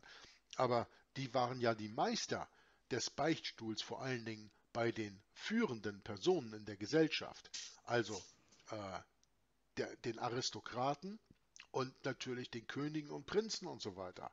Und haben dadurch, und ein Beispiel ist ja nur mal König Ludwig XIV. mit seinem Beichtvater Louis de la, äh, Louis de la Chaise, der ihn gesagt hat, ich kann dich von dieser Sünde, die du mir gebeichtet hast, nicht freisprechen, außer, das hat er dann nach einer bestimmten Zeit gesagt, außer du widerrufst das Edikt von Nantes. Und damit wurden Zehntausende, Hunderttausende Hugenotten zum Abschluss freigegeben. Ja, im 17. Jahrhundert. Und wir wissen ja, wo das daraus hinausgelaufen ist. Also zumindest diejenigen, die meine Lesungen verfolgt haben, ähm, wissen das, weil das wurde oft genug zur Sprache gebracht. Somit sind die Leute erpressbar. Ja, das kommt dann ja nochmal eben zu. Und genau mit solchen Sachen handelt das Buch hier eben auch. Hier halt nicht auf die Moderne bezogen, wie wir es heute im 21. Jahrhundert haben, aber das müsst ihr halt im Hinterkopf behalten, dass eben die ähm, Art und Weise, wie die römisch-katholische Kirche ihre Informationen bekommt, natürlich auch mit der Zeit angepasst ist. Sie hat immer noch den Beichtstuhl, aber daneben hat sie auch noch diese ganzen anderen Mittel, die ich gerade eben ernannt, genannt habe. Und wir beschäftigen uns jetzt damit, was, ist, was, die, äh, was die ehemalige Ordensschwester äh, mit Namen Magdalene Adelaide uns Anfang des 20. Jahrhunderts bekannt gemacht hat mit diesem Buch oder Ende des 19. Jahrhunderts, weil es kam ja raus 1889 und damit beschäftigen wir uns jetzt. Aber ihr müsst das eben auch immer in die Gegenwart übertragen. Dafür studieren wir ja diese Geschichte dass wir mit offenen Augen in die Zukunft gehen, dass wir die Dinge, wenn Geschichte sich wiederholt, verstehen, dass wir es erkennen können und dass wir die Hintergründe davon begreifen. Deswegen mache ich ja auch mit Marius und Gerald die Serie Moderne Kriege. Ist ja im Grunde derselbe Punkt. Aber das ist hier ganz sicher auch so. Also wer sagt, ach Jörg, die Beichte, das ist heute alles nicht mehr so, wie das damals war. Naja, bei dir im Dorf oder bei dir in der Stadt vielleicht nicht, aber es gibt noch durchaus Plätze, wo das so ist. Ganz sicher in anderen, noch katholischeren Ländern, als unseres bereits eins ist. Und ich sage jetzt unseres mit Absicht auf meine deutschen Wurzeln zurückgehend, spreche ich von Deutschland, aber auch hier von Belgien, wobei ich hier von Belgien weiß, dass hier noch viele Leute zur Beichte gehen. Das habe ich mir bereits erzählen lassen. Also von daher ähm, ist das immer noch so. Und natürlich daneben eben, wie gesagt, die ganzen modernen Mittel, die die Kirche auch noch hat, um an die Information zu kommen, wie sie kommen möchte. Es gibt da ja auch ein interessantes Zitat von, ich kann euch jetzt nicht mehr sagen, wer das war und in welchem Buch das war, aber äh, da wurde ganz klar gesagt, dass äh, diese ganzen Nachrichtendienste, äh, dass die alles nichts sind im Verhältnis zu dem Nachrichtendienst, den die Jesuiten stellen. Und die Jesuiten, wissen wir ja, übersehen alle anderen Nachrichtendienste. Ja? Also der Bundesnachrichtendienst und der Verfassungsschutz, ähm, der israelische Mossad, der MI5, MI6, CIA, NSA, diese ganzen, was wir als Geheimdienste oder Nachrichtendienste kennen, sind alle unter dem Hut der Jesuiten ihre geben unter dem Hut der Jesuiten ihre Informationen preis. Dessen Zentrale sitzt in Rom, im Vatikan. Von da aus werden all diese Geheimdienste mehr oder weniger gesteuert. Die meisten wissen gar nicht, dass sie fremdgesteuert sind. Die meisten wissen gar nicht, dass es die Jesuiten sind, die sie kontrollieren. Viele wissen es, aber die meisten wissen es nicht. Aber deswegen haben die Jesuiten und damit natürlich der militärische Orden der römisch-katholischen Kirche eine unglaublich große, äh, einen ungroßen, äh, unglaublich großen Einfluss eben auf ähm, die Menschen, weil sie eben wissen, was die Menschen tun. Ob die Menschen ihnen das jetzt mitteilen oder nicht. Wenn sie es nicht mitteilen, dann bekommen sie es auf eine der vorher genannten Arten und Weisen raus. Jetzt aber. Genau, jetzt aber weiter. Äh, vielleicht ist das ja auch mal ein Hinweis äh, auf dem rein deutschen Kanal, Jörg, ne? äh, ist das richtig? Nochmal sich diese, diese, äh, diese Videoserie nochmal anzuschauen, weil die ist auf jeden Fall äh, hören, hörenswert, auch wenn das jetzt hier vielleicht ein bisschen leise, leise gewesen ist. Ja, also es geht hier um um, den, um die Tatsache, dass sich hier offensichtlich vielleicht, das ist jetzt noch so die These, die wir haben, die Arbeitsthese für diese Sendung, dass sich vielleicht Geschichte wiederholt. Und dass eben solche Dinge, die wir vielleicht von früher nur als alten Büchern kennen, äh, gar nicht so äh, weg sind, wie wir es jetzt wirklich denken, sondern die haben sich einfach nur verändert, sodass man eben in den ersten Blick äh, das vielleicht gar nicht als so eine jetzt hätte ich schon fast vorweggenommen, Gewissensforschung äh, sieht und so eine Ausspionierung äh, sieht, sondern man denkt sich einfach nicht, ja, das ist einfach normal, dass man eben gerade im äh, Internet, auf den sozialen Medien eben seine, seine, seine privaten Sachen einfach so teilt, ne? weil die anderen machen das ja auch. Und weil das eben die anderen tun, ist es eben für mich normal. Und ich mache da einfach äh, mit weil ich will ja kein Außenseiter sein. Ne? Und das ist genau erstmal der Punkt, wo wir jetzt sind. Das heißt, die Beichte nochmal war ein wesentliches Instrument für diese sogenannten Heiligen der römischen Kirche damals, genauso wie heute. Denn ihr habt das gelesen, dass die Beichte ein wesentliches Sakrament, also ein wesentlicher Bestandteil zur, ja, äh, äh, zur Tatsache sind, dass sie dann vielleicht in den Himmel kommen oder auch nicht. Das heißt, dieses Sakrament war sehr wichtig damals und das wird oder versuchen wir jetzt mal aktuell zu übertragen ähm, in ja, Aussagen, die wir jetzt, ähm, die ich jetzt euch mal zeigen werde.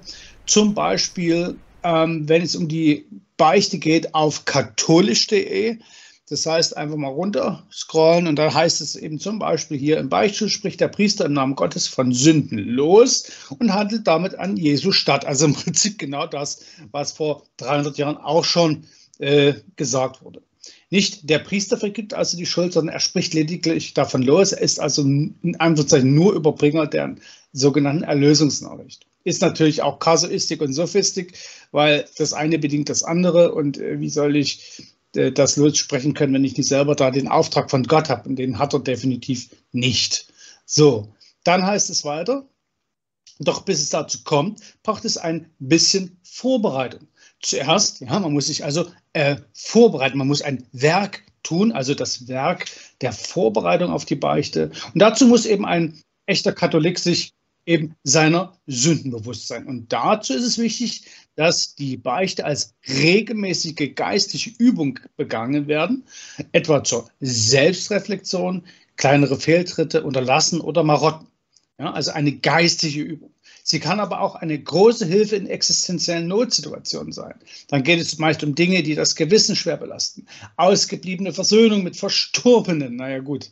Eine Lüge mit schweren Folgen oder auch irreparable Schäden, die durch eigenes Handeln entstanden sind, gehören eben auch zu diesen sogenannten geistigen Übungen. Und bei geistigen Übungen müsste eigentlich jedem Zuhörer sofort schon eine äh, Alarmklingel angehen weil es ist natürlich eine äh, typisch jesuitische Taktik der Gewissenserforschung. So, und dann heißt es eben weiter, bei der Vorbereitung auf eine Beichte können klassische Beichtspiegel helfen.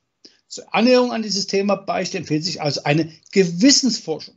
Ja, davon habe ich ja schon gesprochen. Dabei können klassische Beichtspiegel helfen. Diese Fragekataloge schärfen das eigene Gewissen und helfen sich selbst zu hinterfragen. So, also merken wir uns mal Beichtspiegel. Ja? Vorgefasste Fragen, die man sozusagen dann allgemein verwenden kann. So, dann gucken wir noch mal weiter, weil vielleicht ist es ja nur eine Ausnahme, dass katholisch.de hier sich so mit der Beichte auseinandergesetzt hat. Vielleicht gibt es ja noch ein paar andere Meinungen. Gucken wir mal bei katholisch.de äh, Papst Franziskus und die Gewissensforschung. Aha, Artikel ist vom 14.09.2018.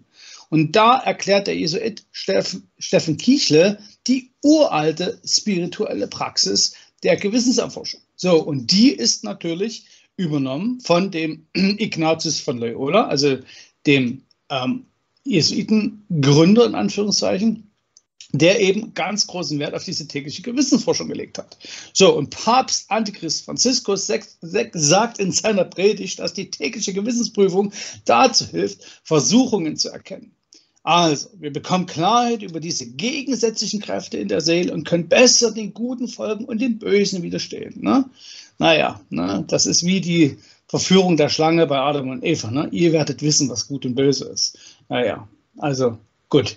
Dann direkt der Link wiederum zu einem anderen Artikel. Da geht es auch um Gewissensforschung. Hier ruft auch der Papst zu Gewissensforschung auf.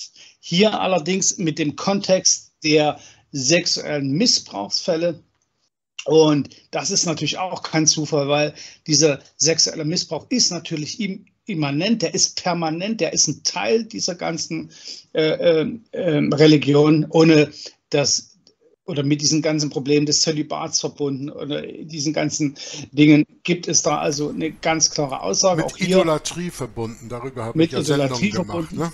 Genau, und auch hier habe ich nochmal diese, diesen, diesen Teil des Videos, aber weil wir die Zeit ein bisschen im Blick halten, würde ich mal sagen, wir gucken, weil die Aufnahmequalität auch nicht so dolle war, muss ich sagen, gehen wir mal weiter und gucken mal, was. Aber vielleicht, äh, wenn du jetzt das Video auslässt, äh, ganz kurz mal in den Chat, da habe ich was gefunden, was jetzt zum mhm. Thema passt. Das ist aber schade, jetzt das Video das, auszulassen. Ja, wir können es reinnehmen. Also das ist, wir können es rein. Ich wüsste bloß nicht, ob es jetzt, sonst startet es noch einfach. Ja, Vielleicht du, ist ja. Du musst nur ein bisschen still sein, weil ich muss die Lautstärke wieder runterregeln, bevor du sprichst. Ich muss es auf 100% stellen, wenn es spielt, ja, weil gut, es sonst ja, zu gut, leise okay, ist. also gut, dann gucken wir uns weil das ich, mit den Sakramenten. Ich, ich, weiß ja nicht, wie du die Clips aufnimmst, aber wenn ich da was ja, rausschneiden würde, würde ich das ein bisschen anders machen, dass die Qualität besser ist. Aber ja. Ja, aber das sehe okay. ich, das sehe ich erst hier, muss ich ganz ehrlich sagen. Bei mir klang es auch besser, deswegen. Ja, okay. Ne? Ja. Das mache ich das mal eben an und dann, danach äh, gehen wir dann zum, was Marius vorgeschlagen hat, okay? Okay, gut, alles klar. Aber zu dem Buch. Enthüllung über die geheime Beichte vor dem Priester. Es ist für einen Protestanten völlig unmöglich, den Einfluss zu verstehen, den das Dogma der zwischen Anführungszeichen Ohrenbeichte auf den Geist und das Gewissen der römischen Katholiken ausübt. Denn ihnen wird beigebracht zu glauben, dass Jesus Christus sie eingeführt hat und dass die Beichte für die Erlösung unerlässlich ist. Ja, die Beichte ist ein Sakrament in der römisch-katholischen Kirche. Und mit diesem Sakrament verdiene ich meine Punkte, mit denen ich in den Himmel komme. Weil in der römisch-katholischen Kirche ist Erlösung eine, ähm, eine Art und Weise, die nur durch Arbeiten erreicht werden kann. Ja? Durch meine eigenen Werke.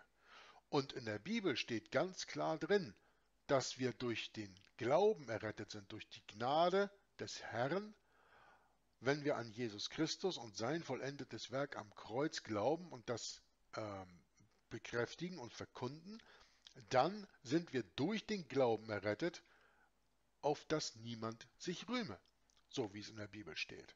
Aber Katholiken lesen die Bibel nicht, wissen nicht, was das wahre Christentum ist und von daher wird ihnen beigebracht zu glauben, dass nicht nur Jesus Christus die Beichte so eingeführt hat, wie sie heute in der Kirche durchgeführt wird. Man darf ja nicht vergessen, der Priester ist ja ein alter Christo, ein anderer Christus.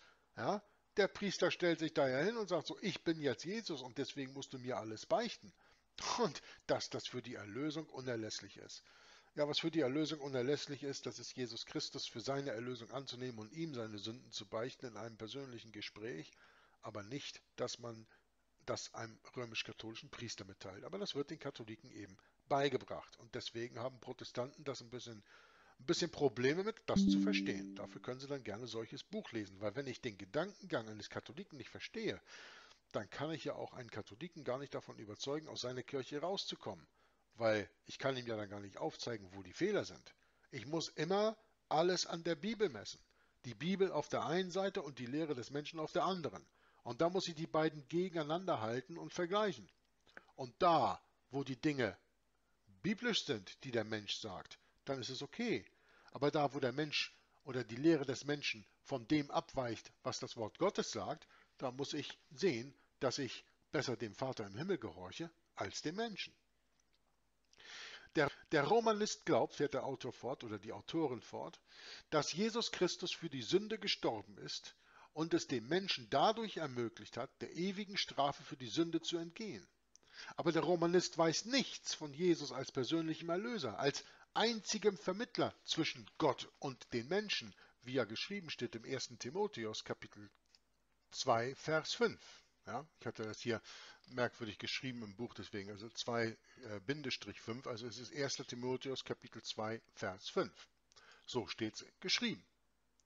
Er verlässt sich für sein Heil auf die Sakramente der Kirche, ne, also der Katholik, und die richterliche Macht der Priester, die ihm seine Sünden vergeben. Auf diese Weise stellt die römische Kirche den Priester über Gott, denn sie erkennt zwar an, dass Gott die Sünden vergibt, doch indem sie lehrt, dass die Beichte beim Priester für die Erlösung unerlässlich ist, stellt sie Gott einfach hinter den Priester zurück. Denn der Priester vergibt wirklich und Gott bestätigt lediglich die erteilte Absolution. Wenn, Sie einen römisch-katholischen Priester fragen würden, wo und wann seine Kirche zum ersten Mal die Lehre der Ohrenbeichte angenommen hat, dann würde er Sie sofort auf die Worte unseres Herrn verweisen, empfangt den Heiligen Geist, wessen Sünden ihr vergeben sollt, denen sind sie vergeben, und wessen Sünden ihr behalten sollt, die bleiben erhalten. Und er würde ihnen sagen, dass Christus, als er diese Worte gebrauchte, nicht nur die Ohrenbeichte einführte, sondern auch seinen Aposteln die gerichtliche Vollmacht gab, Sünden zu vergeben, und dass diese Vollmacht durch die apostolische Sukzession, also apostolische Nachfolge, auf die Priester der heutigen Zeit übertragen wurde und dass sie die einzigen wahren Diener des Evangeliums sind. Niemand kann leugnen, dass unser Heiland diese Worte gebraucht hat. Aber ich bestreite mit allem Nachdruck, sagt die Autorin, dass er damit das gotteslästerliche und obszöne Dogma der Ohrenbeichte eingeführt hat. Und ich stimme ihr da vollkommen zu. Alleine schon die äh, apostolische Sukzession, auf die die Priester sich berufen, gibt es gar nicht. Es steht nirgendwo in der Bibel, dass die Macht, die Jesus Christus auf die Apostel übertragen hat, von den Aposteln auf andere Menschen übertragbar war. Ja, die Apostel hatten die Macht, um Menschen den Heiligen Geist zu geben durch Handauflegen. Wie wir in Apostelgeschichte in den ersten Kapiteln und ganz sicher Kapitel 8 legen, wo wir Kenntnis, wo wir Bekanntschaft machen mit Simon Magos. Die Möglichkeit hatten sie, ja. Ähm, aber es ist nicht so, dass äh, sie Menschen die Hand aufgelegt haben und die auf einmal den Heiligen Geist gekriegt haben und die da vorher noch keine Ahnung von hatten. Das waren schon Menschen, die im Glauben waren. Ja? Aber dass diese Handlung, die die Apostel damals gemacht haben, übertragen wurden auf andere, um das ebenso zu machen, das steht da nicht drin. Und das ist auch vollkommen unlogisch, wenn man die Geschichte der 70. Woche von Daniel kennt. Weil schließlich ist es ja so, dass Jesus Christus seine sieben Jahre Ministerium, die letzte Woche von den 70 Jahrwochen, die in Daniel Kapitel 9 bestimmt werden, dass er die Hälfte dieser sieben Jahre im Fleische auf dieser Welt zugebracht hat und dann am Kreuz für andere, nicht für sich selbst gestorben ist und dass seine Apostel genau das, was er gemacht hat, fortgesetzt haben bis zum Ende der 70. Jahrwoche. Wir wissen damit genau, das passierte bis zu dem Moment in Kapitel 7, wenn ich mich jetzt nicht irre, der Apostelgeschichte, wo Stephanus gesteinigt wurde. Danach wurde dann das Evangelium auch nicht nur den Juden gegeben, sondern ist es eben auch an die Heiden mitgeteilt worden. Da war aber die 70. Jahrwoche zu Ende. Und Jesus Christus hat dafür gesorgt, dass seine Apostel die Macht, die er vom Vater bekommen hat, auch empfangen haben, um diese Macht, um, um diese äh, 70. Jahrwoche zu vollenden. Die Apostel konnten in der Zeit nicht nur ähm, Menschen den Heiligen Geist geben, sie konnten auch Tote erwecken, sie konnten Krankheiten heilen und sie haben Sünden vergeben. Das ist richtig. Genau die Aussage, die drin steht. Wessen Sünden ihr vergeben sollt, denen sind sie vergeben und wessen Sünden ihr behalten sollt, die bleiben erhalten. Ja? Was ihr auf Erden bindet, das soll gebunden sein auf Erden und was ihr im Himmel bindet, soll gebunden sein im Himmel. Und was frei ist auf Erden oder freigelassen ist auf Erden, äh, soll auch im Himmel freigelassen sein. So steht es geschrieben. Und von daher ist das vollkommen richtig, was die Autorin hier sagt. Aber eben diese apostolische Sukzession, das ist eine reine Erfüllung der römisch-katholischen Kirche, die alleine schon mit der Lüge beginnt, dass Petrus der erste Papst war. Und Petrus war nicht der erste Papst. Petrus war nie in Rom. Das ist noch eine ganz andere Sache. Da habe ich auch schon viele Sendungen drüber gemacht und viel drüber gesprochen. Aber diese ganzen Dinge muss man als Vorkenntnis halt mitbringen, um hier eben auch zu verstehen, wo die ähm, Schwester äh, Shepard hier drüber spricht. Ja?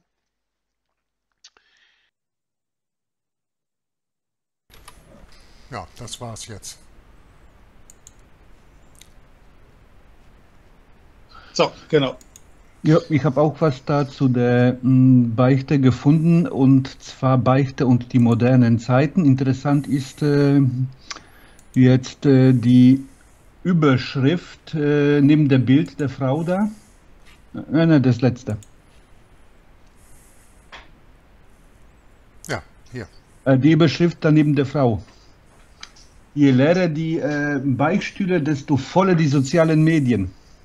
Ja, genau der Punkt, den ich in dem Video probiert habe zu machen. Ne? Dass wenn man die Informationen aus dem Beichtstuhl nicht mehr bekriegt, dass man sie kriegt von Facebook, Twitter und Konsorten. Ne? Und dann, Oder äh, X und sagt- Konsorten, ja. Und dann sagt sie, glaube ich, das ist ihr Zitat hier, und der Priester urteilt darüber wie ein himmlischer Richter. Nein, sowas brauche ich nicht.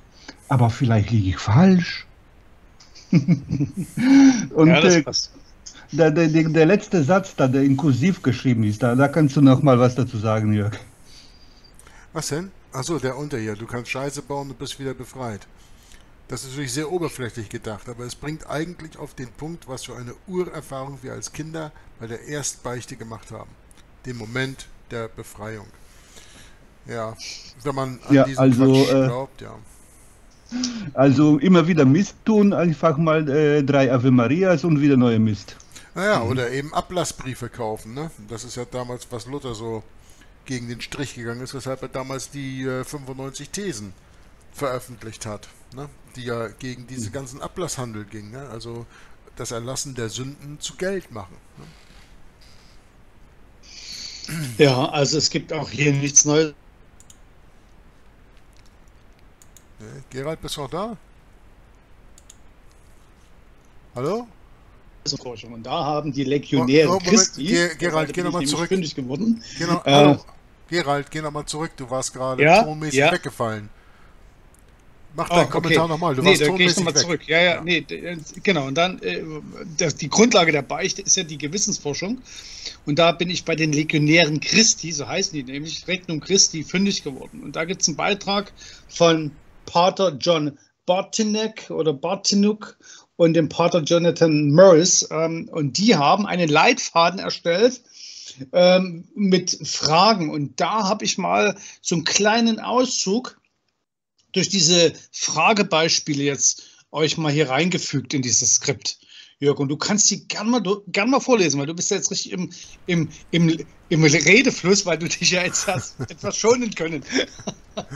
Ja, ich habe mich ja aufgenommen gehört gerade. Ja. Ja, eben, was ganz Neues. Hat's auch noch nicht, oder? Ja, Kommt nicht so oft vor, nee. Nee, ne? Aber hier gibt's alles. Dieser kleine Leitfaden ist also sicher keine vollständige Erklärung, aber er soll zu einem guten Einstieg verhelfen, um das Sakrament der Beichte fruchtbar zu machen oder besser gesagt für uns, um das besser zu verstehen. Durch Bücher und den Rat deines Priesters oder geistlichen Leiters kannst du vollständigeres Wissen darüber erlangen. Ich würde äh, gesagt haben, durch die Bibel zu lesen und dem Priester zu entkommen, äh, kannst du zum wirklichen geistigen Führer kommen, Jesus Christus, der der einzige Weg, die Wahrheit und das Leben zum Vater ist, und kannst du bessere Weisheit erlangen als durch Menschengebrabbel. Aber gut, lesen wir mal. Einige Beispiele. Was war meine gewöhnliche Haltung gegenüber anderen Menschen? Denen, die mir nahestehen, wie auch denen, die ich nur zufällig getroffen habe, in den letzten zwei Wochen? Habe ich Klatsch verbreitet? Nutzlose Kritik geübt oder unnötigerweise schlecht über andere gesprochen? Habe ich in schroffem Ton mit anderen gesprochen, aus Wut, Ungeduld oder Ärger?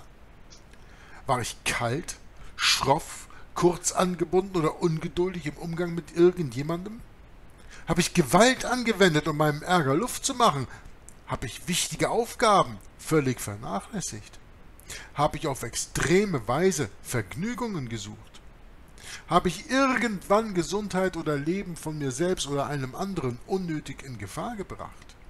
Mhm, ja, und da geht es weiter hier auf der katholischen Seite oder auf der Ja, katholischen ich wollte, mal eben sagen, hier habe ich auf Mhm. extreme Weise Vergnügungen gesucht. Das ist Ja. äh, ein ganz kleiner Einblick in das, worüber es bei dem Buch geht. Da wird ja auch eben darüber gesprochen, über diese Fragen, äh, hauptsächlich sexueller Art, die bereits Kindern im Beichtstuhl gestellt werden und die eben auch zu dem Kindesmissbrauch führen und so weiter und so weiter. Also wer die Lesung nicht kennt auf meinem rein deutschen Kanal, der sollte sich das mal anschauen. Ich werde das wahrscheinlich irgendwann auf dem Hauptkanal mal veröffentlichen, wenn ich Zeit habe, aber bis jetzt Mhm. kann man es da sich anschauen. Ja, bitte mach weiter. Ja, genau. Nee, also dann war noch eine nächste Quelle, weil äh, die eine Quelle ist ja schon mal sehr aussagekräftig. Und wie gesagt, wir werden ähm, uns das jetzt gleich so ein bisschen im Hinterkopf behalten für die äh, eigentliche, äh, den eigentlichen Kern dieser Sendung. Und jedenfalls habe ich hier noch ähm, eine andere Seite gefunden. Das ist ein PDF von der katholischen Kirchgemeinde Östringen. Und da habe ich aus dem PDF auch noch ein paar Fragen rausgesucht, die ähnlich klingen, wie das eben gehörte, Jörg. Ich bitte dich. Bin ich gut mit meinen Sachen umgegangen? Habe ich Freunden, Schulkameraden etwas kaputt gemacht oder weggenommen? Habe ich in der Schule, in der Nachbarschaft, im Ort Sachen zerstört? Habe ich Eltern, Lehrer oder Freunde belogen? Habe ich in der Schule oder zu Hause schlechte Arbeit getan? Habe ich den Eltern bei der Hausarbeit geholfen? Habe ich gestohlen im Warenhaus, in der Schule oder Geld zu Hause? Habe ich stundenlang vorm Fernseher gesessen und alles andere vernachlässigt? Habe ich im Straßenverkehr andere gefährdet? Kinderbeichte ist doch in staatlichen Schulen undenkbar. Ja, geht es hier um Kinder? Habe ich im Straßenverkehr andere gefährdet? Was denn, als Fahrradfahrer oder was? Die Frage sollten sich ihr Autofahrer öfter mal stellen. Nicht unbedingt in der Beichte, ne? aber... Ja, ja, ja, ja, ja, ja. Das ist so der Punkt. Auf jeden Fall sind das so ein paar typische Fragestellungen, ne, die zu dieser sogenannten Gewissensforschung eben ja nicht nur seit gestern, sondern seit ja, geraumer Zeit äh, ja, benutzt werden. Und wir sind ja jetzt in der Lesung an dem Punkt, wo wir jetzt sagen, ja, Moment mal, das gibt es doch garantiert nicht, nicht jetzt in vielleicht sogar staatlichen Schulen, ja. Und da, Jörg, bitte ich dich jetzt mal dieses, diesen Fragebogen der sogenannten PIT, dieser Grube, ja, der Prävention im Team zu öffnen, die gerade aktuell, wir haben es immer noch ähm, Mai äh, 2024, äh, in deutschen, also in sächsischen Schulen äh, umgeht tatsächlich und ähm, die erhebliche Ähnlichkeiten aufweist in der Fragestellung, wie was wir jetzt hier von dieser Seite Rechnung Christi und von dieser katholischen Kirchgemeinde Östringen in diesem PDF haben lesen können, haben auszugsweise lesen können. Aber wir vergleichen jetzt auch mal live, weil das habe ich nämlich so ganz ausführlich noch nicht gemacht. Wo ist denn Deswegen, der Fragebogen? Ne, der ist hier, im, im, im, im den habe ich dir mit übersendet. Dann habe ich dir übersendet. Den habe ich dir übersendet, ja, über dem Video, ah, das letzte ist, ja. Pit. Das kam genau, später rein, das habe ich noch nicht gesehen. Ja, ja, ja, ja, das ist, das gucken wir uns jetzt mal an. Schauen wir mal, so, ne, Landespräventionsrat und ich damals, entschuldigt bitte, das ist jetzt nicht von Freistaat Sachsen eingeführt, das war ich, äh, mit der Bezeichnung Inquisition Update. Hattest ne? du letzte das, Woche äh, bereits gesagt, ja. Das haben wir letzte Woche bereits festgestellt, genau. Und das gucken wir uns jetzt mal an. Ich bin, wie gesagt, damals schon durchgegangen, mal grob, um diese Fragestellung hier, ne, Einleitung. Wichtig ist, ne, ich kommentiere es mal ganz kurz, dass das hier also erstmal freiwillig ist, ja, natürlich, ne, dass du ihm jederzeit die Teilnahme ähm, oder die Beantwortung einzelner Fragen ablegen kannst.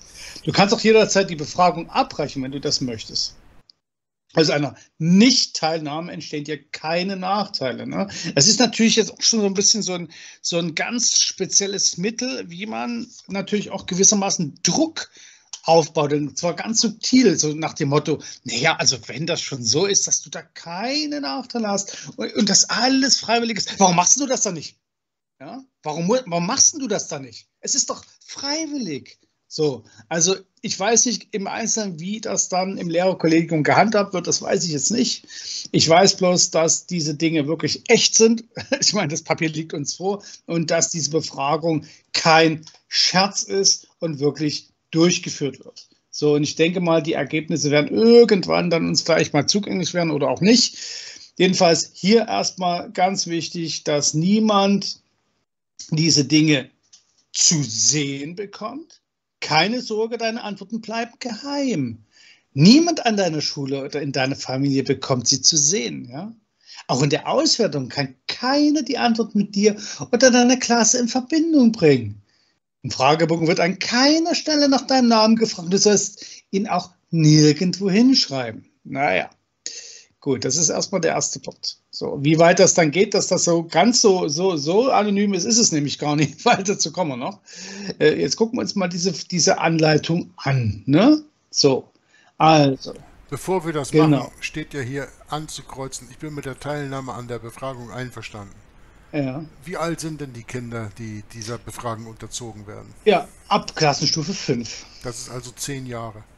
Ja, genau ein zehnjähriges Kind ist noch gar nicht in der Lage, eine freie Entscheidung in der Hinsicht zu machen, selbst mit der ja. Erklärung und sie einzustimmen. Weil ja. das, ist ein, äh, das, das ist der Abschluss eines Vertrages. Und Vertragsabschluss, dafür muss man 18 Jahre sein. Aber auf jeden mhm. Fall müsste man schon mal gerichtlich mündig sein. Und das ist, glaube ich, mit 14. Also, mhm. ich bin absolut schon mal in der Hinsicht, alleine schon aus weltlich-rechtlichen Gründen ein absoluter Gegner, Kinder von dem Alter an einer solchen Befragung teilnehmen zu lassen mhm. und sie eben ohne elterliche, mhm. elterlichen Rat oder Beistand hier etwas ankreuzen zu lassen und befragen mhm. zu lassen. Ja, das ja. möchte ich nur mal eben, jetzt mal ganz mhm. außerhalb von moralischen, äh, christlichen, äh, biblischen Standpunkten aus. Einfach nur legal hier. Ein zehnjähriges mhm. Kind hier einen Vertrag schließen zu lassen, ist meines Erachtens illegal. Und interessant ist ja auch, dass hier auch sozusagen schon so äh, subtil äh, ja auch gesagt wird, hier, das ist ein Geheimnis, ne? Und das brauchst du deinen Eltern nicht mitteilen. Also es geht nicht nur darum, die Eltern nicht mit einzubeziehen, sondern es geht darum, hier die Eltern klipp und klar aus dieser Sache rauszuhalten, ist meine Meinung. Oder Ja? vielleicht sogar Informationen über die Eltern zu gewinnen. Das werden wir sehen, ob das vielleicht sogar noch weitergeht, dass man nicht nur die Eltern raushält, sondern vielleicht sogar die Kinder anstachelt, um Informationen, also wie ein Werkzeug zu benutzen. Das schauen wir einmal an, was da so für Fragen gibt. Ne? Wie gesagt, das ist jetzt auch live. Ich bin das jetzt als Zeitgründen nicht ganz durchgegangen. Ich hatte das damals ja noch angelesen. Äh, und wir gucken uns das jetzt mal langsam an. Also, Marius, Jörg, wenn euch was auffällt, wir gehen mal langsam hier durch, durch diesen Fragebogen. Und wenn ihr was seht, dann ja, ne, sofort reinkrätschen. So, hier gibt es ein Beispiel, ne? Das ist dann hier, wenn ihr so weitergeht, Einleitung zum Ausfüllung, ne? Wird nicht benotet, auch hier nochmal, ne? Mach das doch, du hast keine Nachteile, ne? Aber deine Erfahrung und deine ehrliche Meinung zu unseren Fragen sind uns sehr wichtig, ne? Also sei ehrlich, ne? Wähle immer die Antwort, die am besten zu dir passt, ja? Also lüge nicht, ja? sondern sei ehrlich ne? und sag uns deine ehrliche Meinung. Ne? Also, das ist schon extrem heftig, gerade wenn ihr auch davon euch überzeugt, dass das wirklich für Kinder ist. Fünfte Klasse ab zehn Jahre aufwärts. Ihr werdet das auch da sehen, das habe ich mir nicht aus den Fingern gesogen. Es ist wirklich ein Fragebogen für Kinder. So. Erziehung zum Denunziantentum. Tja, naja, naja. So, wähle bitte bei jeder Frage nur eine Antwort aus. Ne? Das heißt hier ne, die Antwort, die deiner eigenen Meinung am nächsten kommt. Also man will das Kind wirklich auch von seinem Standpunkt her ergreifen. Also wirklich, was denkt das Kind? Ja, wie ist die Meinung des Kindes? Und klar, ein Kind ist natürlich beeinflussbar. Ne? Und natürlich redet ein Kind auch natürlich das weiter.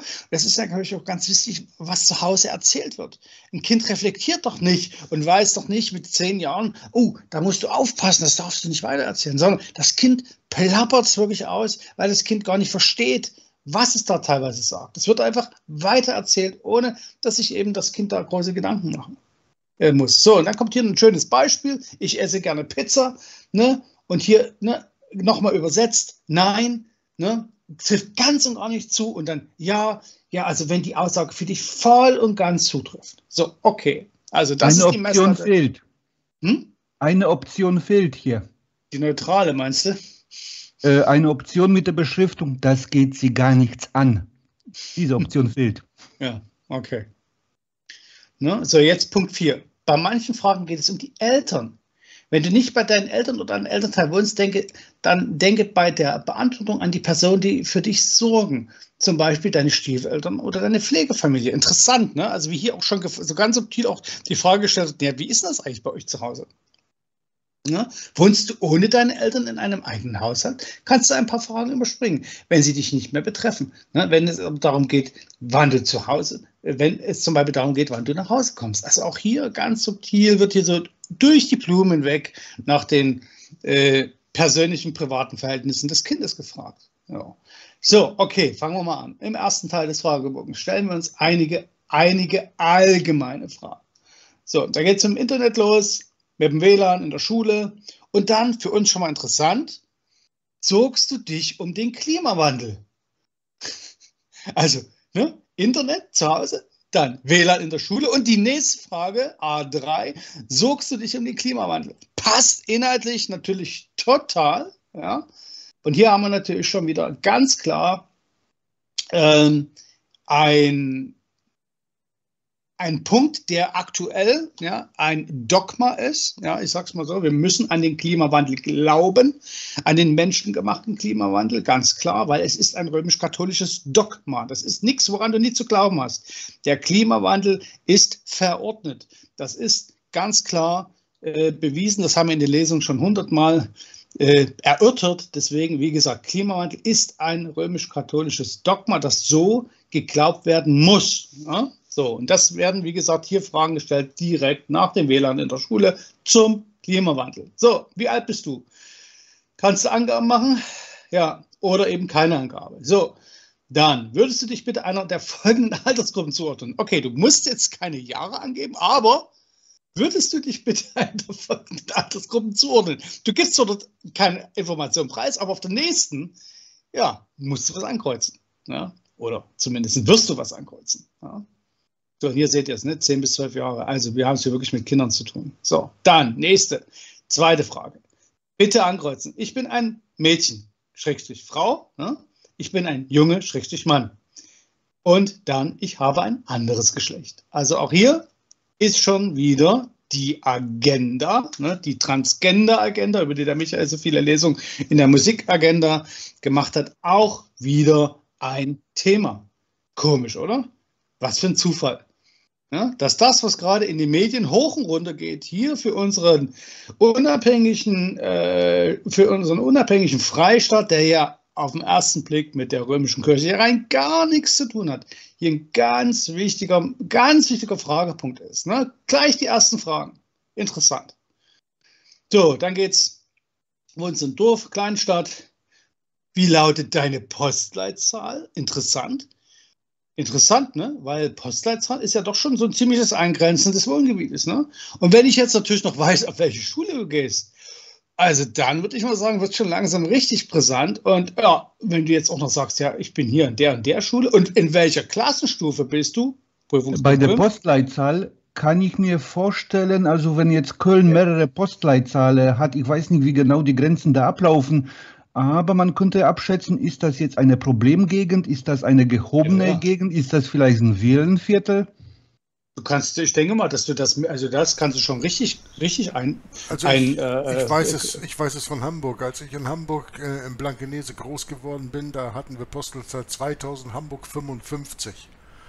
Und jetzt haben sie die Postleitzahlen ja umgestellt. Das sind ja von 4 auf 5 äh, Zahlen gegangen. Und jetzt heißt das äh, 2055 oder so. Was weiß ich jetzt gar nicht mehr. Die Postleitzahl von Blankenese heute.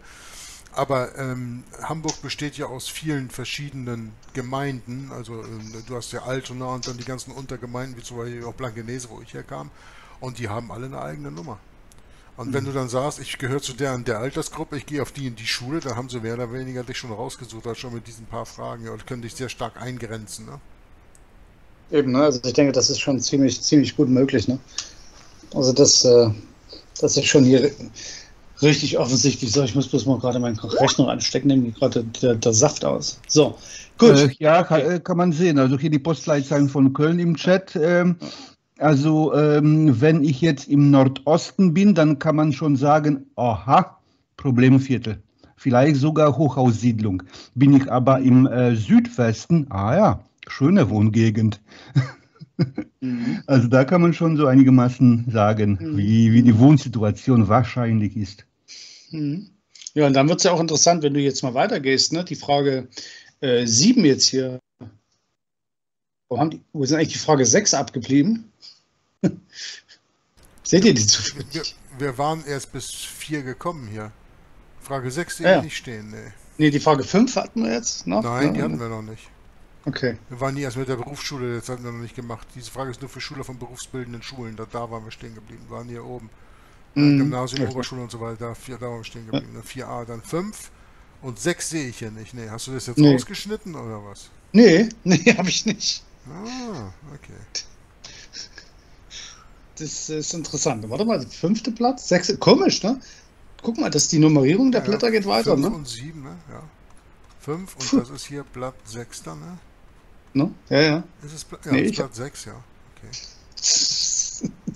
Ja, nee, das habe ich jetzt auch. äh, Nee, ist äh, nicht, äh, nicht klar, wo die Frage 7, äh, die Frage 6 abgeblieben ist hier, ne? Lebst du mit deinen beiden Eltern zusammen, ja. Also wird die Eingrenzung, findet die Eingrenzung immer mehr statt, denn die wissen ja ganz genau, wer du bist. Hm, Ja. Ne?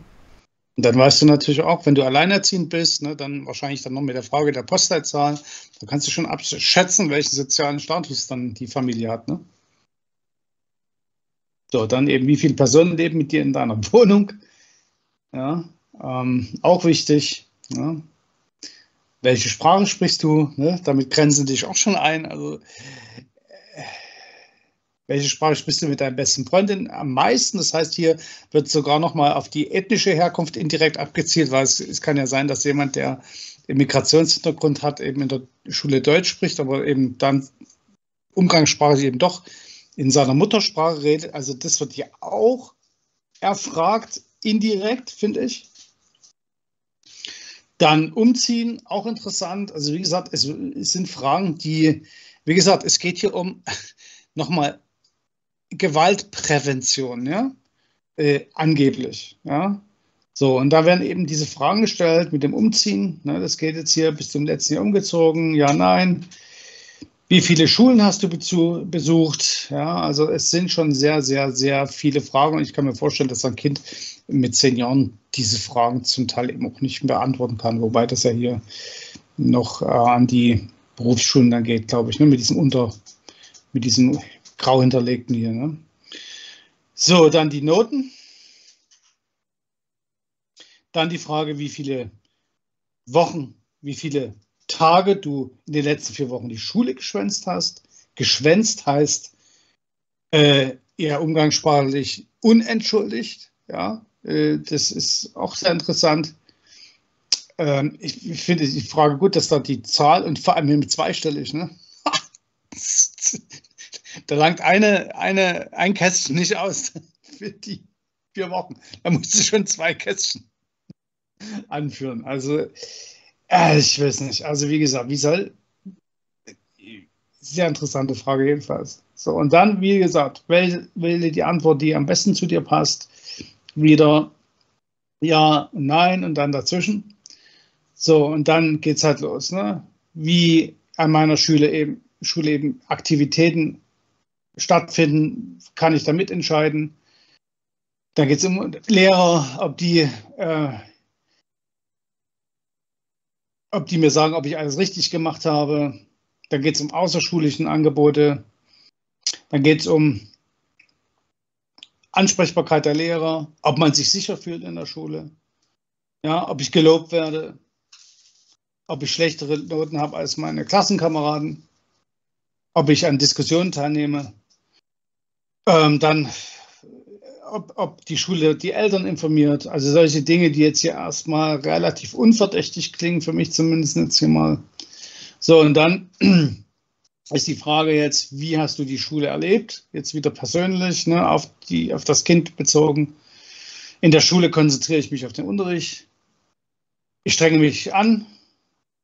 Ich hasse es, zur Schule zu gehen. Ja, ich finde meine Hausaufgaben und, oder meine Schulstunden äh, sinnvoll und wichtig. Auch hier kann man wieder zwischen ganz, ganz schlecht und gut wählen, also zwischen nie und immer. Dann wieder, ich gehe sehr gern zur Schule, das kann man auch äh, nochmal unterteilen, ganz persönlich jetzt. Und dann geht es eben weiter, wie empfindest du den Unterricht? Von sehr langweilig bis sehr interessant kann man sich hier entscheiden. Dann, wie ist deine Meinung nach den Dingen, die du in der Schule lernst für dein späteres Leben? Sehr interessant. Das erinnert mich an die Frage oder an die Tatsache, wie viel von dem Wissen, was man in der Schule mal gelernt hat, tatsächlich äh, ja, so wirklich hängen bleibt. Ne? Also sich sozusagen im, im Langzeitgedächtnis so verankert. Und da glaube ich mal gehört zu haben, dass das wohl eine Quote von um die 2 Prozent, also 2 von 100 sein soll. Ja, also ich weiß es nicht genau, aber wenn ich so sehe, was ich in der Schule alles für Sachen gelernt habe, dann könnte das durchaus hinkommen, muss ich ganz ehrlich sagen. Könnte das durchaus hinkommen. Selbst mit meiner Ostausbildung äh, würde ich da sagen, ja, es ist wahrscheinlich nicht mehr. So, dann geht es in den sozialen Bereich. Du und deine Freunde, Schrägstrich innen. Also Genderdeutsch auch hier, ne? du und deine Freundinnen. Und da geht es in der Frage 22, 23 Jahre. Wie findest du es, wenn jemand in deinem Alter. Naja, Freunde, Freundinnen, das ist männlich-weiblich, ne? Das ist noch Ja. nicht gendermäßig. Achso, stimmt, das fehlt ja das Sternchen. Entschuldige. Also, bitte. Boah, so, okay. Und da geht's los. Finde ich extrem problematisch hier, die Formulierung. Eine Waffe. Zum Beispiel Schlagring, Messer, Pistole, Klammer zu, also Punkt, Punkt, Punkt, Klammer zu, bei sich hätte.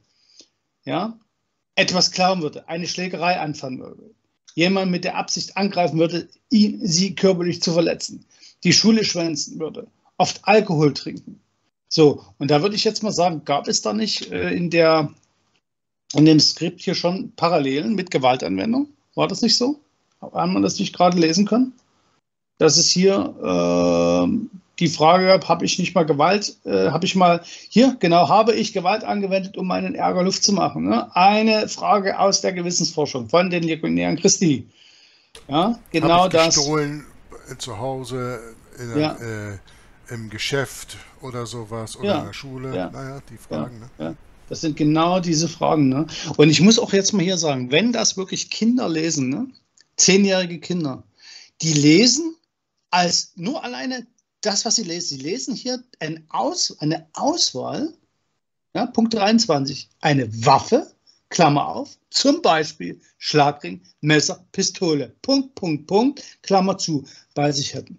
Da muss ich mal ganz ehrlich sagen, ist das für mich auch eine ganz subtile Art und Weise, sowas einfach in den Kopf zu bringen. Weil in dem Moment, wo du sowas liest, äh, stellst du dir jetzt eine Waffe vor. Also ich weiß nicht, das können ja auch zehnjährige Kinder lesen. Wie gesagt, die müssen es aber vielleicht nicht beantworten, aber das können zehnjährige Kinder erstmal lesen. So, und ich weiß nicht, ob ein Kind weiß, was ein Schlagring ist. Der Punkt, der. Punkt ist ganz richtig, die du anführst, und das geht dann wieder sehr gut zurück auf die, äh, auf die Beichte, wo ja Kindern gerade auch in sexueller Hinsicht Fragen gestellt werden über ihre sexuellen Fantasien und Mhm. solche ganzen Sachen, wo die gar nichts mit anzufangen wissen, was die gar nicht verstehen. Mhm. Ja? Mhm. Ähm, Ja. Wo ihnen dann erstmal erklärt wird, was das im Grunde ist. Mhm. Ja, ähm, es gibt da so einen Witz, ich meine, den- ich weiß nicht, ob ihr früher Mr. Bean geguckt habt. Oh ja, klar, ständig. Ja, Mr. Bean, okay. Mr. Bean hat mal, hat mal so einen Witz gebracht und ich möchte übrigens hier äh, das, den Rest vertagen auf nächstes Mal, weil wir sind schon zehn nach und müssen unser Schlusswort noch bringen. Aber ich schließe mal jetzt ab mit einem lustigen Zitat von Mr. Bean früher. Der hat einen Priester gespielt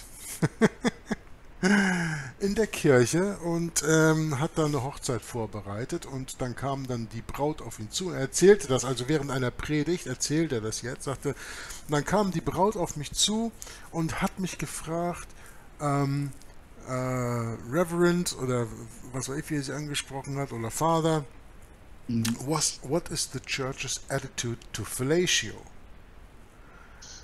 And I responded to her, unfortunately, I do not know what fellatio is. so she showed me. Now, every, every time a young bride comes to me and asks me, Father, what is the church's attitude towards fellatio? I say, sorry, I can't tell you, I don't know what fellatio is. Und jetzt mal eben auf Deutsch. Mr. Bean hat einen Priester gespielt und erzählt da in seiner Predigt, dass er bei der Hochzeitsvorbereitung, dass da eine junge Braut auf ihn zukam, die ihn dann fragte von äh, Vater, was ist denn eigentlich die Kirchenhaltung zu Fellatio? Also das heißt Mundverkehr, um das jetzt mal ganz vorsichtig auszusprechen. Und Mr. Bean hat darauf geantwortet, Kind, ich würde dir ja gerne eine richtige Antwort geben, aber ich weiß leider gar nicht, was das ist. Also hat sie es mir gezeigt. Und seitdem, jedes Mal, wenn eine junge Frau auf mich zukommt, mich fragt, Vater, was ist denn der Kirchenhalt, die Kirchenhaltung von äh, gegenüber Fellatio, sage ich von, ich würde dir ja gerne antworten, aber leider weiß ich es nicht. Und das, das war jetzt natürlich witzig. Ja? Also finde ich zumindest. Ich habe zumindest damals drüber gelacht. Aber wenn wir uns jetzt nochmal diese Fragestellung hier angucken und genau das mal in die Praxis umsetzen, was Gerald gerade meinte, dass eben mit dem Vorschlag Schlagring, Messer, Pistole hier jetzt die Vorschläge gemacht werden, seht ihr, wie das genau das gleiche ist, nur auf einem anderen Level, auf einem anderen Niveau. Ja? Die Kinder wissen nicht, was die Waffe, was eine Waffe sein kann oder sind sich da nicht so richtig vom bewusst. Es gibt ja tatsächlich Kinder, die sind zehn Jahre alt und haben noch keine gewalttätigen Filme gesehen. Sind vielleicht auch mit wenig Fernsehen und sowas aufgewachsen. Soll es ja geben. Und jetzt lesen die auf einmal sowas. Was ist das denn? Das ist genau dasselbe, ähm, weshalb ich da den äh, Mr. Bean gerade eben angeholt habe mit seinem Fellatio. Ich fand das äh, immer ganz, äh, also damals fand ich das sehr lustig, äh, ehrlich gesagt. Heute finde ich das viel weniger lustig. Vor allen Dingen, weil Mr. Bean selber ja auch Jesuiten geschult ist. Ne? Also der Rowan Ja. Atkinson, der ihn äh, Ja. dargestellt hat. Der, das war ja eine Rolle, die er gespielt hat. Ähm, äh, heute sehe ich das natürlich mit anderen Augen, aber ich will mal sehen, seht ihr, bei mir hat sich das so in mein Gedächtnis eingeprägt, allein schon diese eine Szene, dass ich das noch weiß und viele Dinge sind eben bleibend bei vielen Menschen, vor allen Dingen, wenn man etwas zum ersten Mal, wenn man irgendetwas zum ersten Mal begegnet und das ist hier in diesem Fall auch so bei der Unterfragung der Kinder. Und ich finde es sehr interessant und ich freue mich darauf, Gerald, dass wir hier nächstes Mal weitermachen können, weil Mhm. jetzt habe ich dich zu einem Punkt unterbrochen, wo du wirklich weitermachen musst nächstes Mal. Jetzt hast du mich, ja. Jetzt komme ich, also aus der Nummer komme ich nicht raus. Jetzt habe ich dich endlich mal festgenagelt. Warte, ich guck mal, acht, warte mal, ich guck, acht, äh, neun, ah, Mist. Jetzt hast du ihn am Schlawittchen. Ich habe ihn am Schlawittchen, ja. Das Ah. muss Jetzt muss ich nächstes- mal fragen, ich weiß gar nicht, was Schlawittchen ist. Das ist äh, der Kragen hinten so. Das ist der Schlafittchen, das ist das, äh, Ach der so. Kragen, der übergeschlagen ist, den man, äh, dass man einen am Kragen packt. Das kommt aus der Tierwelt, wenn die Muttertiere ihre, ähm, ihre Jungtiere äh, im Nacken äh, anbeißen und, und damit tragen dann. Ne? Also zum Beispiel Wölfe, Hunde, Katzen und sowas. Ne? Wenn die ihre Kleinkinder nehmen, dann beißen sie denen in den Nacken oder, und tragen sie im Nacken. Dann nehmen sie sie beim Schlawittchen. Ne? So darf man das mal in Deutschland Das ist ja auch schon bezeichnet, man äh, plappert da irgendwelche Sprüche nach und äh, oft äh, oder manchmal weiß man ja gar nichts, was sie so richtig bedeuten oder woher das, das ist kommt. doch, das ist doch mit den meisten Leuten so, die haben überhaupt keine Ahnung, wenn sie sagen von, ich werde ja mal den Leviten lesen, dass das eigentlich ein Spruch ist, der aus der Bibel kommt, weil die Leviten für das Priestertum und die Rechtordnung standen. Levitikus, das Buch. Der Priester, dritte Buch Mose. also, aber ähm, über die Bücher der Bibel, da spricht der äh, Marius gleich noch in seinem Abschlusswort. Ich möchte dem Gerald jetzt eben sein Schlusswort erteilen. Ich hatte meins jetzt gerade mit Mr. Bean und entschuldigt bitte die Profanität, aber manchmal braucht man diese Dinge, um Menschen irgendwo einen Punkt deutlich zu machen. Und ich glaube, den Punkt, den Gerald hier wunderbar hat verdeutlichen wollen mit der Waffenfrage, bei der Kinderbefragung kann man dann auf diese Art und Weise auch so sehen. Und wenn ihr euch das Buch äh, durchlest oder meine Lesung verfolgt, was wir hier angespielt haben, da die Priesterbeichte ähm, oder eben auch die äh, grausame äh, Taufe vor der, vor der Geburt, dieses Buch von der Schwester, was ich da gelesen habe, in, ich glaube, acht Teilen oder sowas, ähm, dann werdet ihr auch verstehen, warum wir da also hier mal äh, dr- drüber sprechen und wie, wie stark der Einfluss also wirklich ist über, über die Beichte ne, auf, die, auf die Menschen. Und eben, ja, die Beichte hat heute oder die Informationsgewinnung hat heute eine andere Form angenommen mit den ganzen Internetmöglichkeiten, äh, mit den äh, sogenannten Sozialmedien und allem drum und dran. Aber wir wissen ja, Sozialmedien und alle Medien werden kontrolliert von demjenigen, der Intermirifica und Miranda Brauses rausgebracht hat. Und damit möchte ich für heute enden. Ich wünsche euch allen eine gesegnete, gute Zeit. Hoffe, dass wir uns dann zur nächsten Sendung wiedersehen. Ich freue mich auch, dass äh, Gerald jetzt ein wenig zwischen Anführungszeichen festgenagelt ist, von wo wir nächstes Mal weitermachen müssen und möchte dann jetzt meine beiden Brüder Gerald und Marius zum Äh, Schlusswort einladen. Jetzt, danke, jetzt hast du mich ja wirklich richtig gekriegt, ne? Also gut. Aber das macht ja nichts. Das ist ja jetzt insofern erstmal nicht so schlimm, weil dann weiß ich wenigstens, wo ich anfangen muss. Das wusste ich zwar in dieser Lesung auch, aber wie gesagt, gestern kam mir dieses äh, alte Büchlein da aus dem 19. Jahrhundert noch dazwischen mit diesem äh, jungen, in Anführungszeichen, Heiligen, der mich eben dann ja einfach auf diesen äh, aktuellen Fall dieses äh, Carlos äh, Augusto äh, oder, oder wie jetzt hieß, ge- geleitet hat.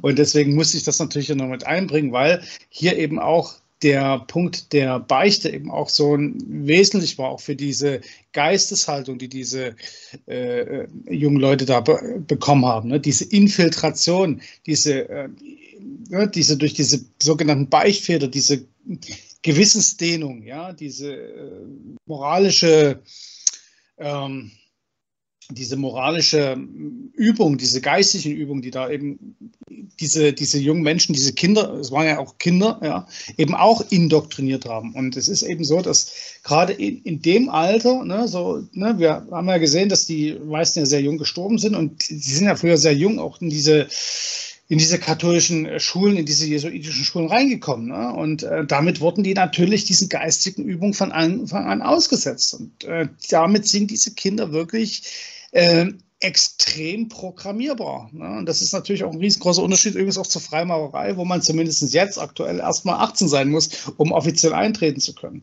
Ja, also auch hier sehe ich da auch schon, sage ich mal, einen ganz großen Unterschied zwischen einer, einer jesuitischen Ausbildung, die viel früher und damit auch viel tiefer in das Bewusstsein des Menschen eingreift, als in Anführungszeichen nur der Freimaurerei, ne, wo der Mensch ja schon, sage ich mal, eine bewusste Entscheidung treffen kann. Ne, und deswegen ist es natürlich auch kein Zufall, wenn wir eben über diese Lilie feststellen, dass die Freimaurerei eben gar nicht so unabhängig ist, sondern eben mittlerweile, oder mittlerweile ist ja schon gut, schon seit über 100 Jahren mindestens, von der äh, römischen Kirche infiltriert und von den Jesuiten natürlich kontrolliert wird. Die Jesuiten so. haben den schottischen Ritus geschrieben und die Freimaurerei Anfang des 18. Jahrhunderts rund 1711 aufgebaut. Ja. Seitdem ist das davon kontrolliert. Freimaurerei ist nur ein anderer Arm des Jesuitismus. Also wenn Freimaurerei der linke Arm ist, dann ist Katholizismus mhm. der rechte Arm. Ja. Und äh, das war schon immer so. Also das ja. ist nicht neu jetzt. Ja, und da werden sich auch viele fragen, ja, warum ist denn das dann so? Warum, warum macht man das so? Naja, ist doch ganz klar, wenn du auf der einen Seite eben mit der katholischen Kirche nichts zu tun haben willst und sagst, da will ich nicht mit zu tun haben, dann gehe ich eben auf die andere Seite. Ja, aber warum macht man das so? Gerald, jetzt stellst du die Frage, die ich bereits am Anfang mit meiner Einleitung beantwortet habe. Hier.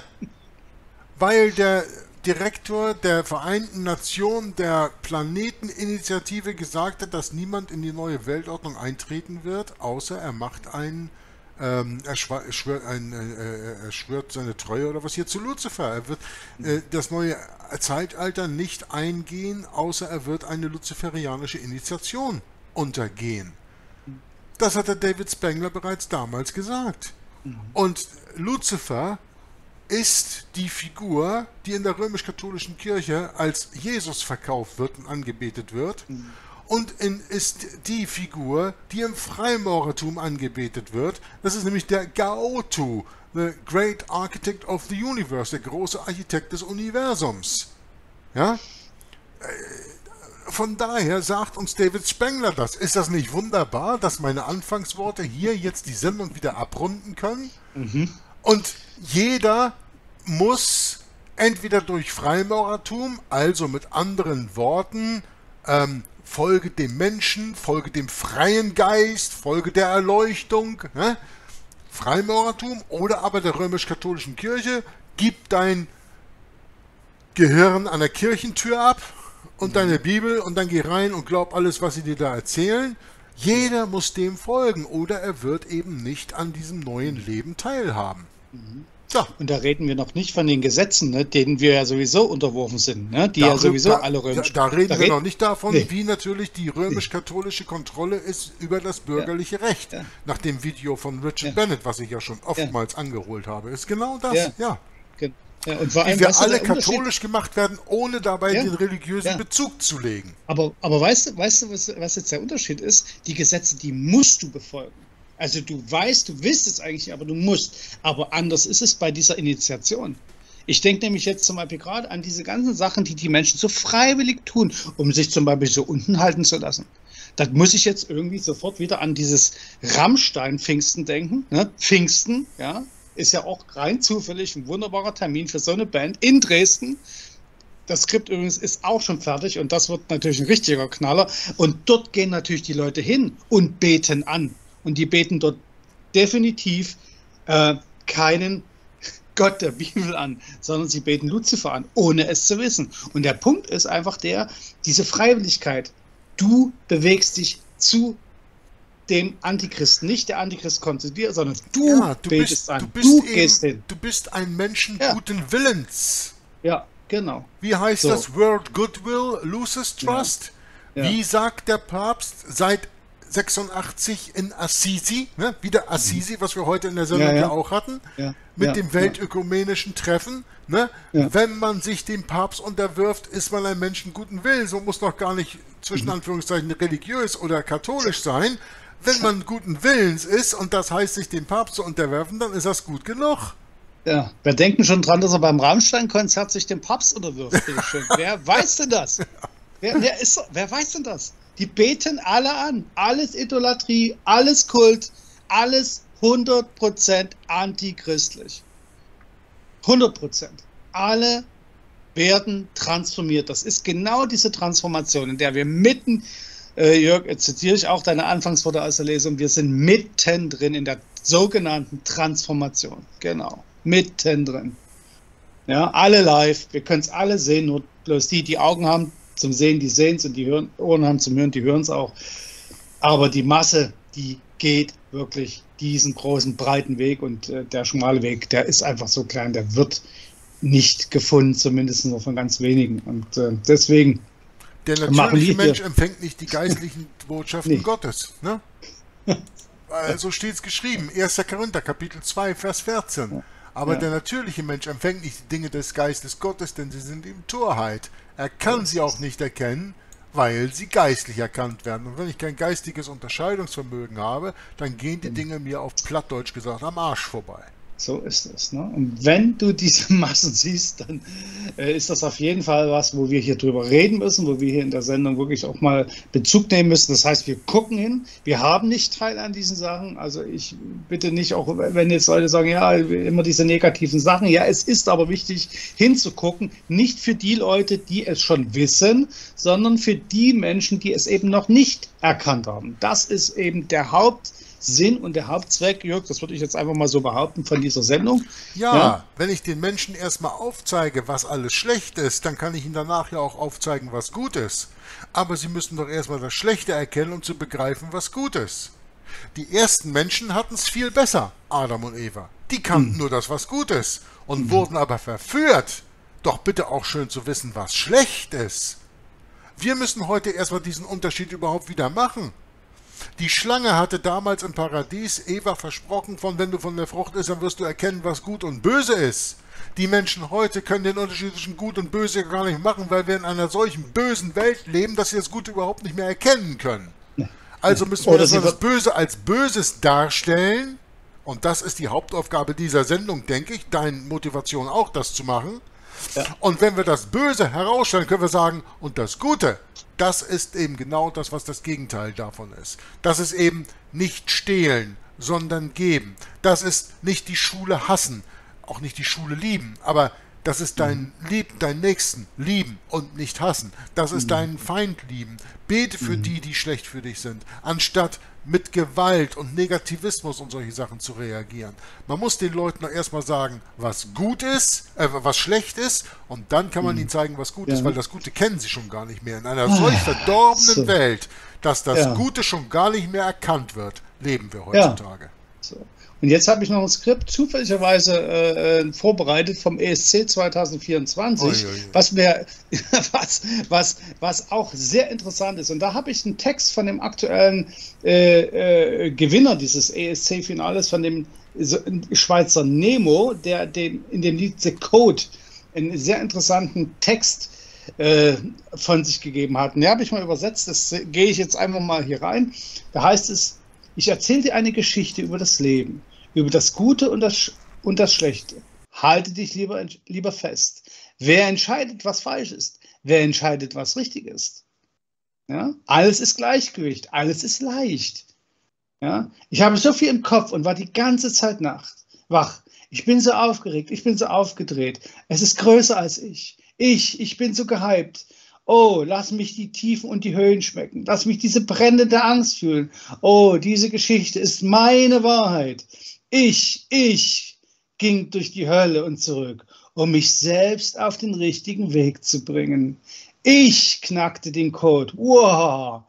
Ich gab ihm nur etwas Zeit. Jetzt habe ich das Paradies gefunden. Ich knackte den Code. Ich Dort habe ich mein Reich gefunden. Mein Herz schlägt wie ein Punkt, Punkt, Punkt. So, nur mal so als kleiner Appetizer zu dem, Jörg, was du gerade gesagt hast. Naja, wenn genau, ich so viel ne? ich höre, dann weiß ich, an was ich denke. Ne? wenn du jetzt sehen könntest, was ich sehe, nämlich, dass ich die Ich in Fett gedruckt ja, und rot logisch, hier ja. habe, kannst du dir vorstellen, wie das aussieht. Ja. Jesaja ja, Kapitel aber, 14, da muss man keine Zeichnung ja, dabei machen. Ja, ne? aber das ist doch genau das, was du sagtest. Genau der Punkt.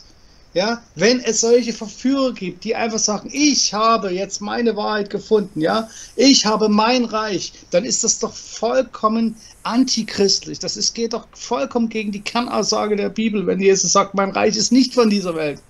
Ne, oder ich bin der Weg, die Wahrheit und das Leben. Ja, das ist genau dagegen. Und wenn du dann als junger Mensch dich eben so beeinflussen lässt von solchen netten Leuten und die, der Nemo ist nicht übrigens im Satanskostüm hier mit so einem Pentagramm aufgetreten. Nee, ja, dann wird er eben als, dann wird er eben benutzt, ja, genauso wie dieser, wie dieser, wie dieser, äh, wie diese ganzen jungen Heiligen da aus den Jesuiten-Schulen, ja, die werden alle nur benutzt, ja, das sind alles Opfer, ja, und die wissen es selbst nicht und diese Menschen verführen natürlich auch wieder.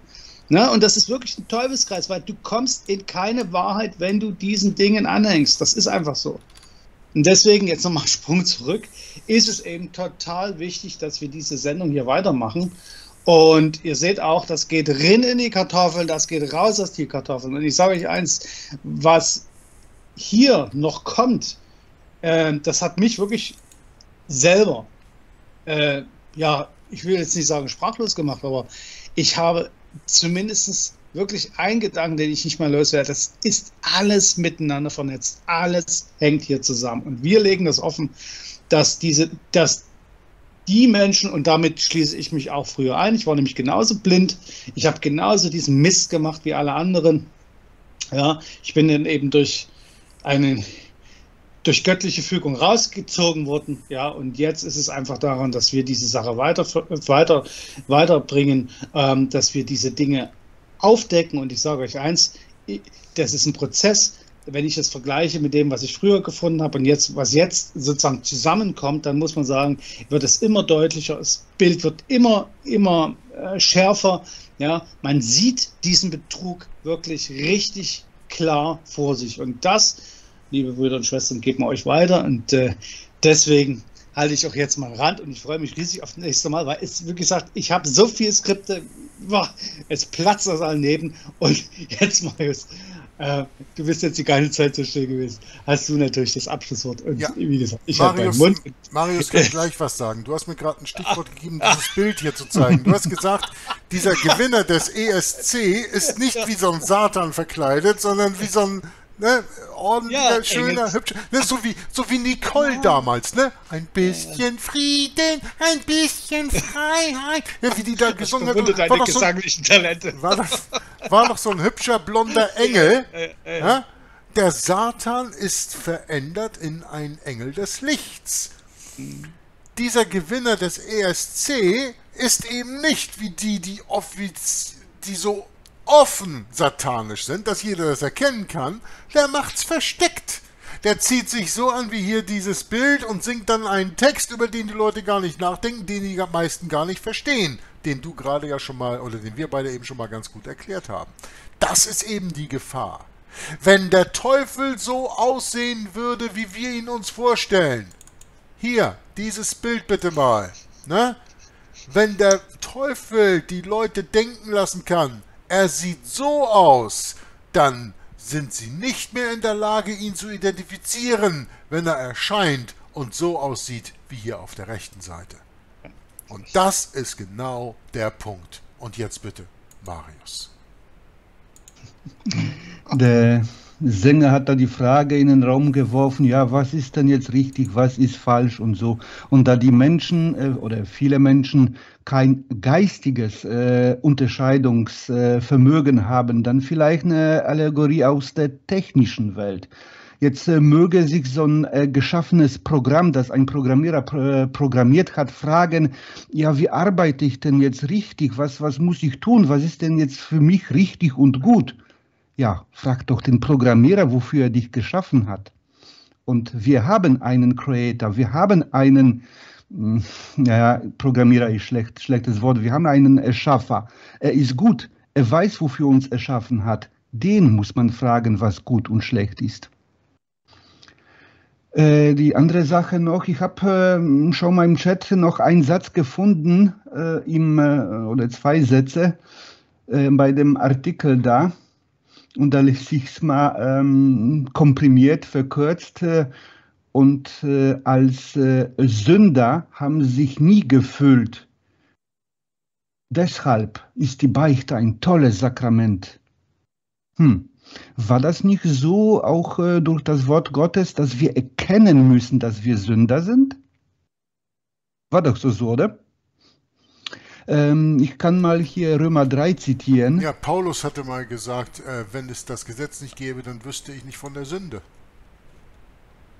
Hm. Ja, erst das es Gesetz hat mir die Sünde erklärt. Es gibt hier im Römer 3, äh, denn es ist kein Unterschied, denn alle haben gesündigt und verfehlen die Herrlichkeit, die sie vor Gott äh, haben sollten, so dass sie ohne Verdienst gerechtfertigt werden durch seine Gnade aufgrund der Erlösung, die in Christus Jesus ist. Also ich denke, wir müssen erkennen, dass wir alle Sünder sind und dass wir einen Erlöser brauchen und dann halt ähm, uns an ihn wenden, seine, sein Opfer annehmen, die Gnade des Vaters annehmen und äh, unser Leben darauf ausrichten und uns bekehren. Aber der erste Schritt ist erstmal äh, zu erkennen, dass wir Sünder sind, dass wir schwach sind und dass wir Hilfe Gottes brauchen und äh, das Erlösungswerk, das äh, Jesus Christus für uns äh, sich geopfert hat. Hier, ich möchte, Aber, das, ich äh, möchte das mal kurz zitieren, das, was ich gerade eben gesucht hatte. Römer Kapitel 7, Verse 7 und 8. Paulus, was wollen wir nun sagen? Ist das Gesetz Sünde? Das sei ferne. Aber ich hätte die Sünde nicht erkannt, außer durch das Gesetz. Denn von der Begierde hätte ich nichts gewusst, wenn das Gesetz nicht gesagt hätte, du sollst nicht begehren. Wichtiger Punkt, ne? Das war, was ich eben deutlich machen wollte. Wenn man das Mhm. Gesetz nicht kennt, kennt man die Sünde nicht. Ja. Bitte, ich wollte dich nicht unterbrechen, aber ich wollte das eben zufügen, weil ich das äh, Naja, da wollte ich nur so ein bisschen deinen Senf dazu haben. Und ich schließe jetzt wirklich, ich mache einen kurzen Prozess mit äh, der Bibel und dem Psalm 127, ein nicht komplett den Anfang. Lobt den Herrn, denn er ist gut. Unseren Gu hm, Verzeihung, ich fange nochmal an. Äh, lobt den Herrn, denn es ist gut, unseren Gott zu Lob singen. Es ist lieblich, es gebührt ihm Lobgesang. Der Herr baut Jerusalem, die zerstreuten Israels wird er sammeln. Er heilt die zerbrochenen Herzens sind und verbindet ihre Wunden. Er zählt die Zahl der Sterne und nennt sie alle mit Namen. Groß ist unser Herr und reich an Macht. Sein Verstand ist unermesslich. Der Herr richtet die Elenden wieder auf. Er erniedrigt die Gottlosen bis zur Erde. Stimmt dem Herrn ein Danklied an. Lob singt unserem Gott mit Harfe, mit der Harfe, der den Himmel mit Wolken bedeckt, der Regen bereitet für die Erde und auf den Bergen Gras wachsen lässt, der den Vieh sein Futter gibt, den jungen Raben, die zu ihm schreien. Er hat keine Freunde an der Stärke des Rosses, noch Gefallen an der Kraft des Mannes. Der hat gefallen, der Herr hat Gefallen an denen, die ihn fürchten und auf seine Gnade hoffen. Rühme den Herrn Jerusalem, Zion, lobe deinen Gott. Maranatha.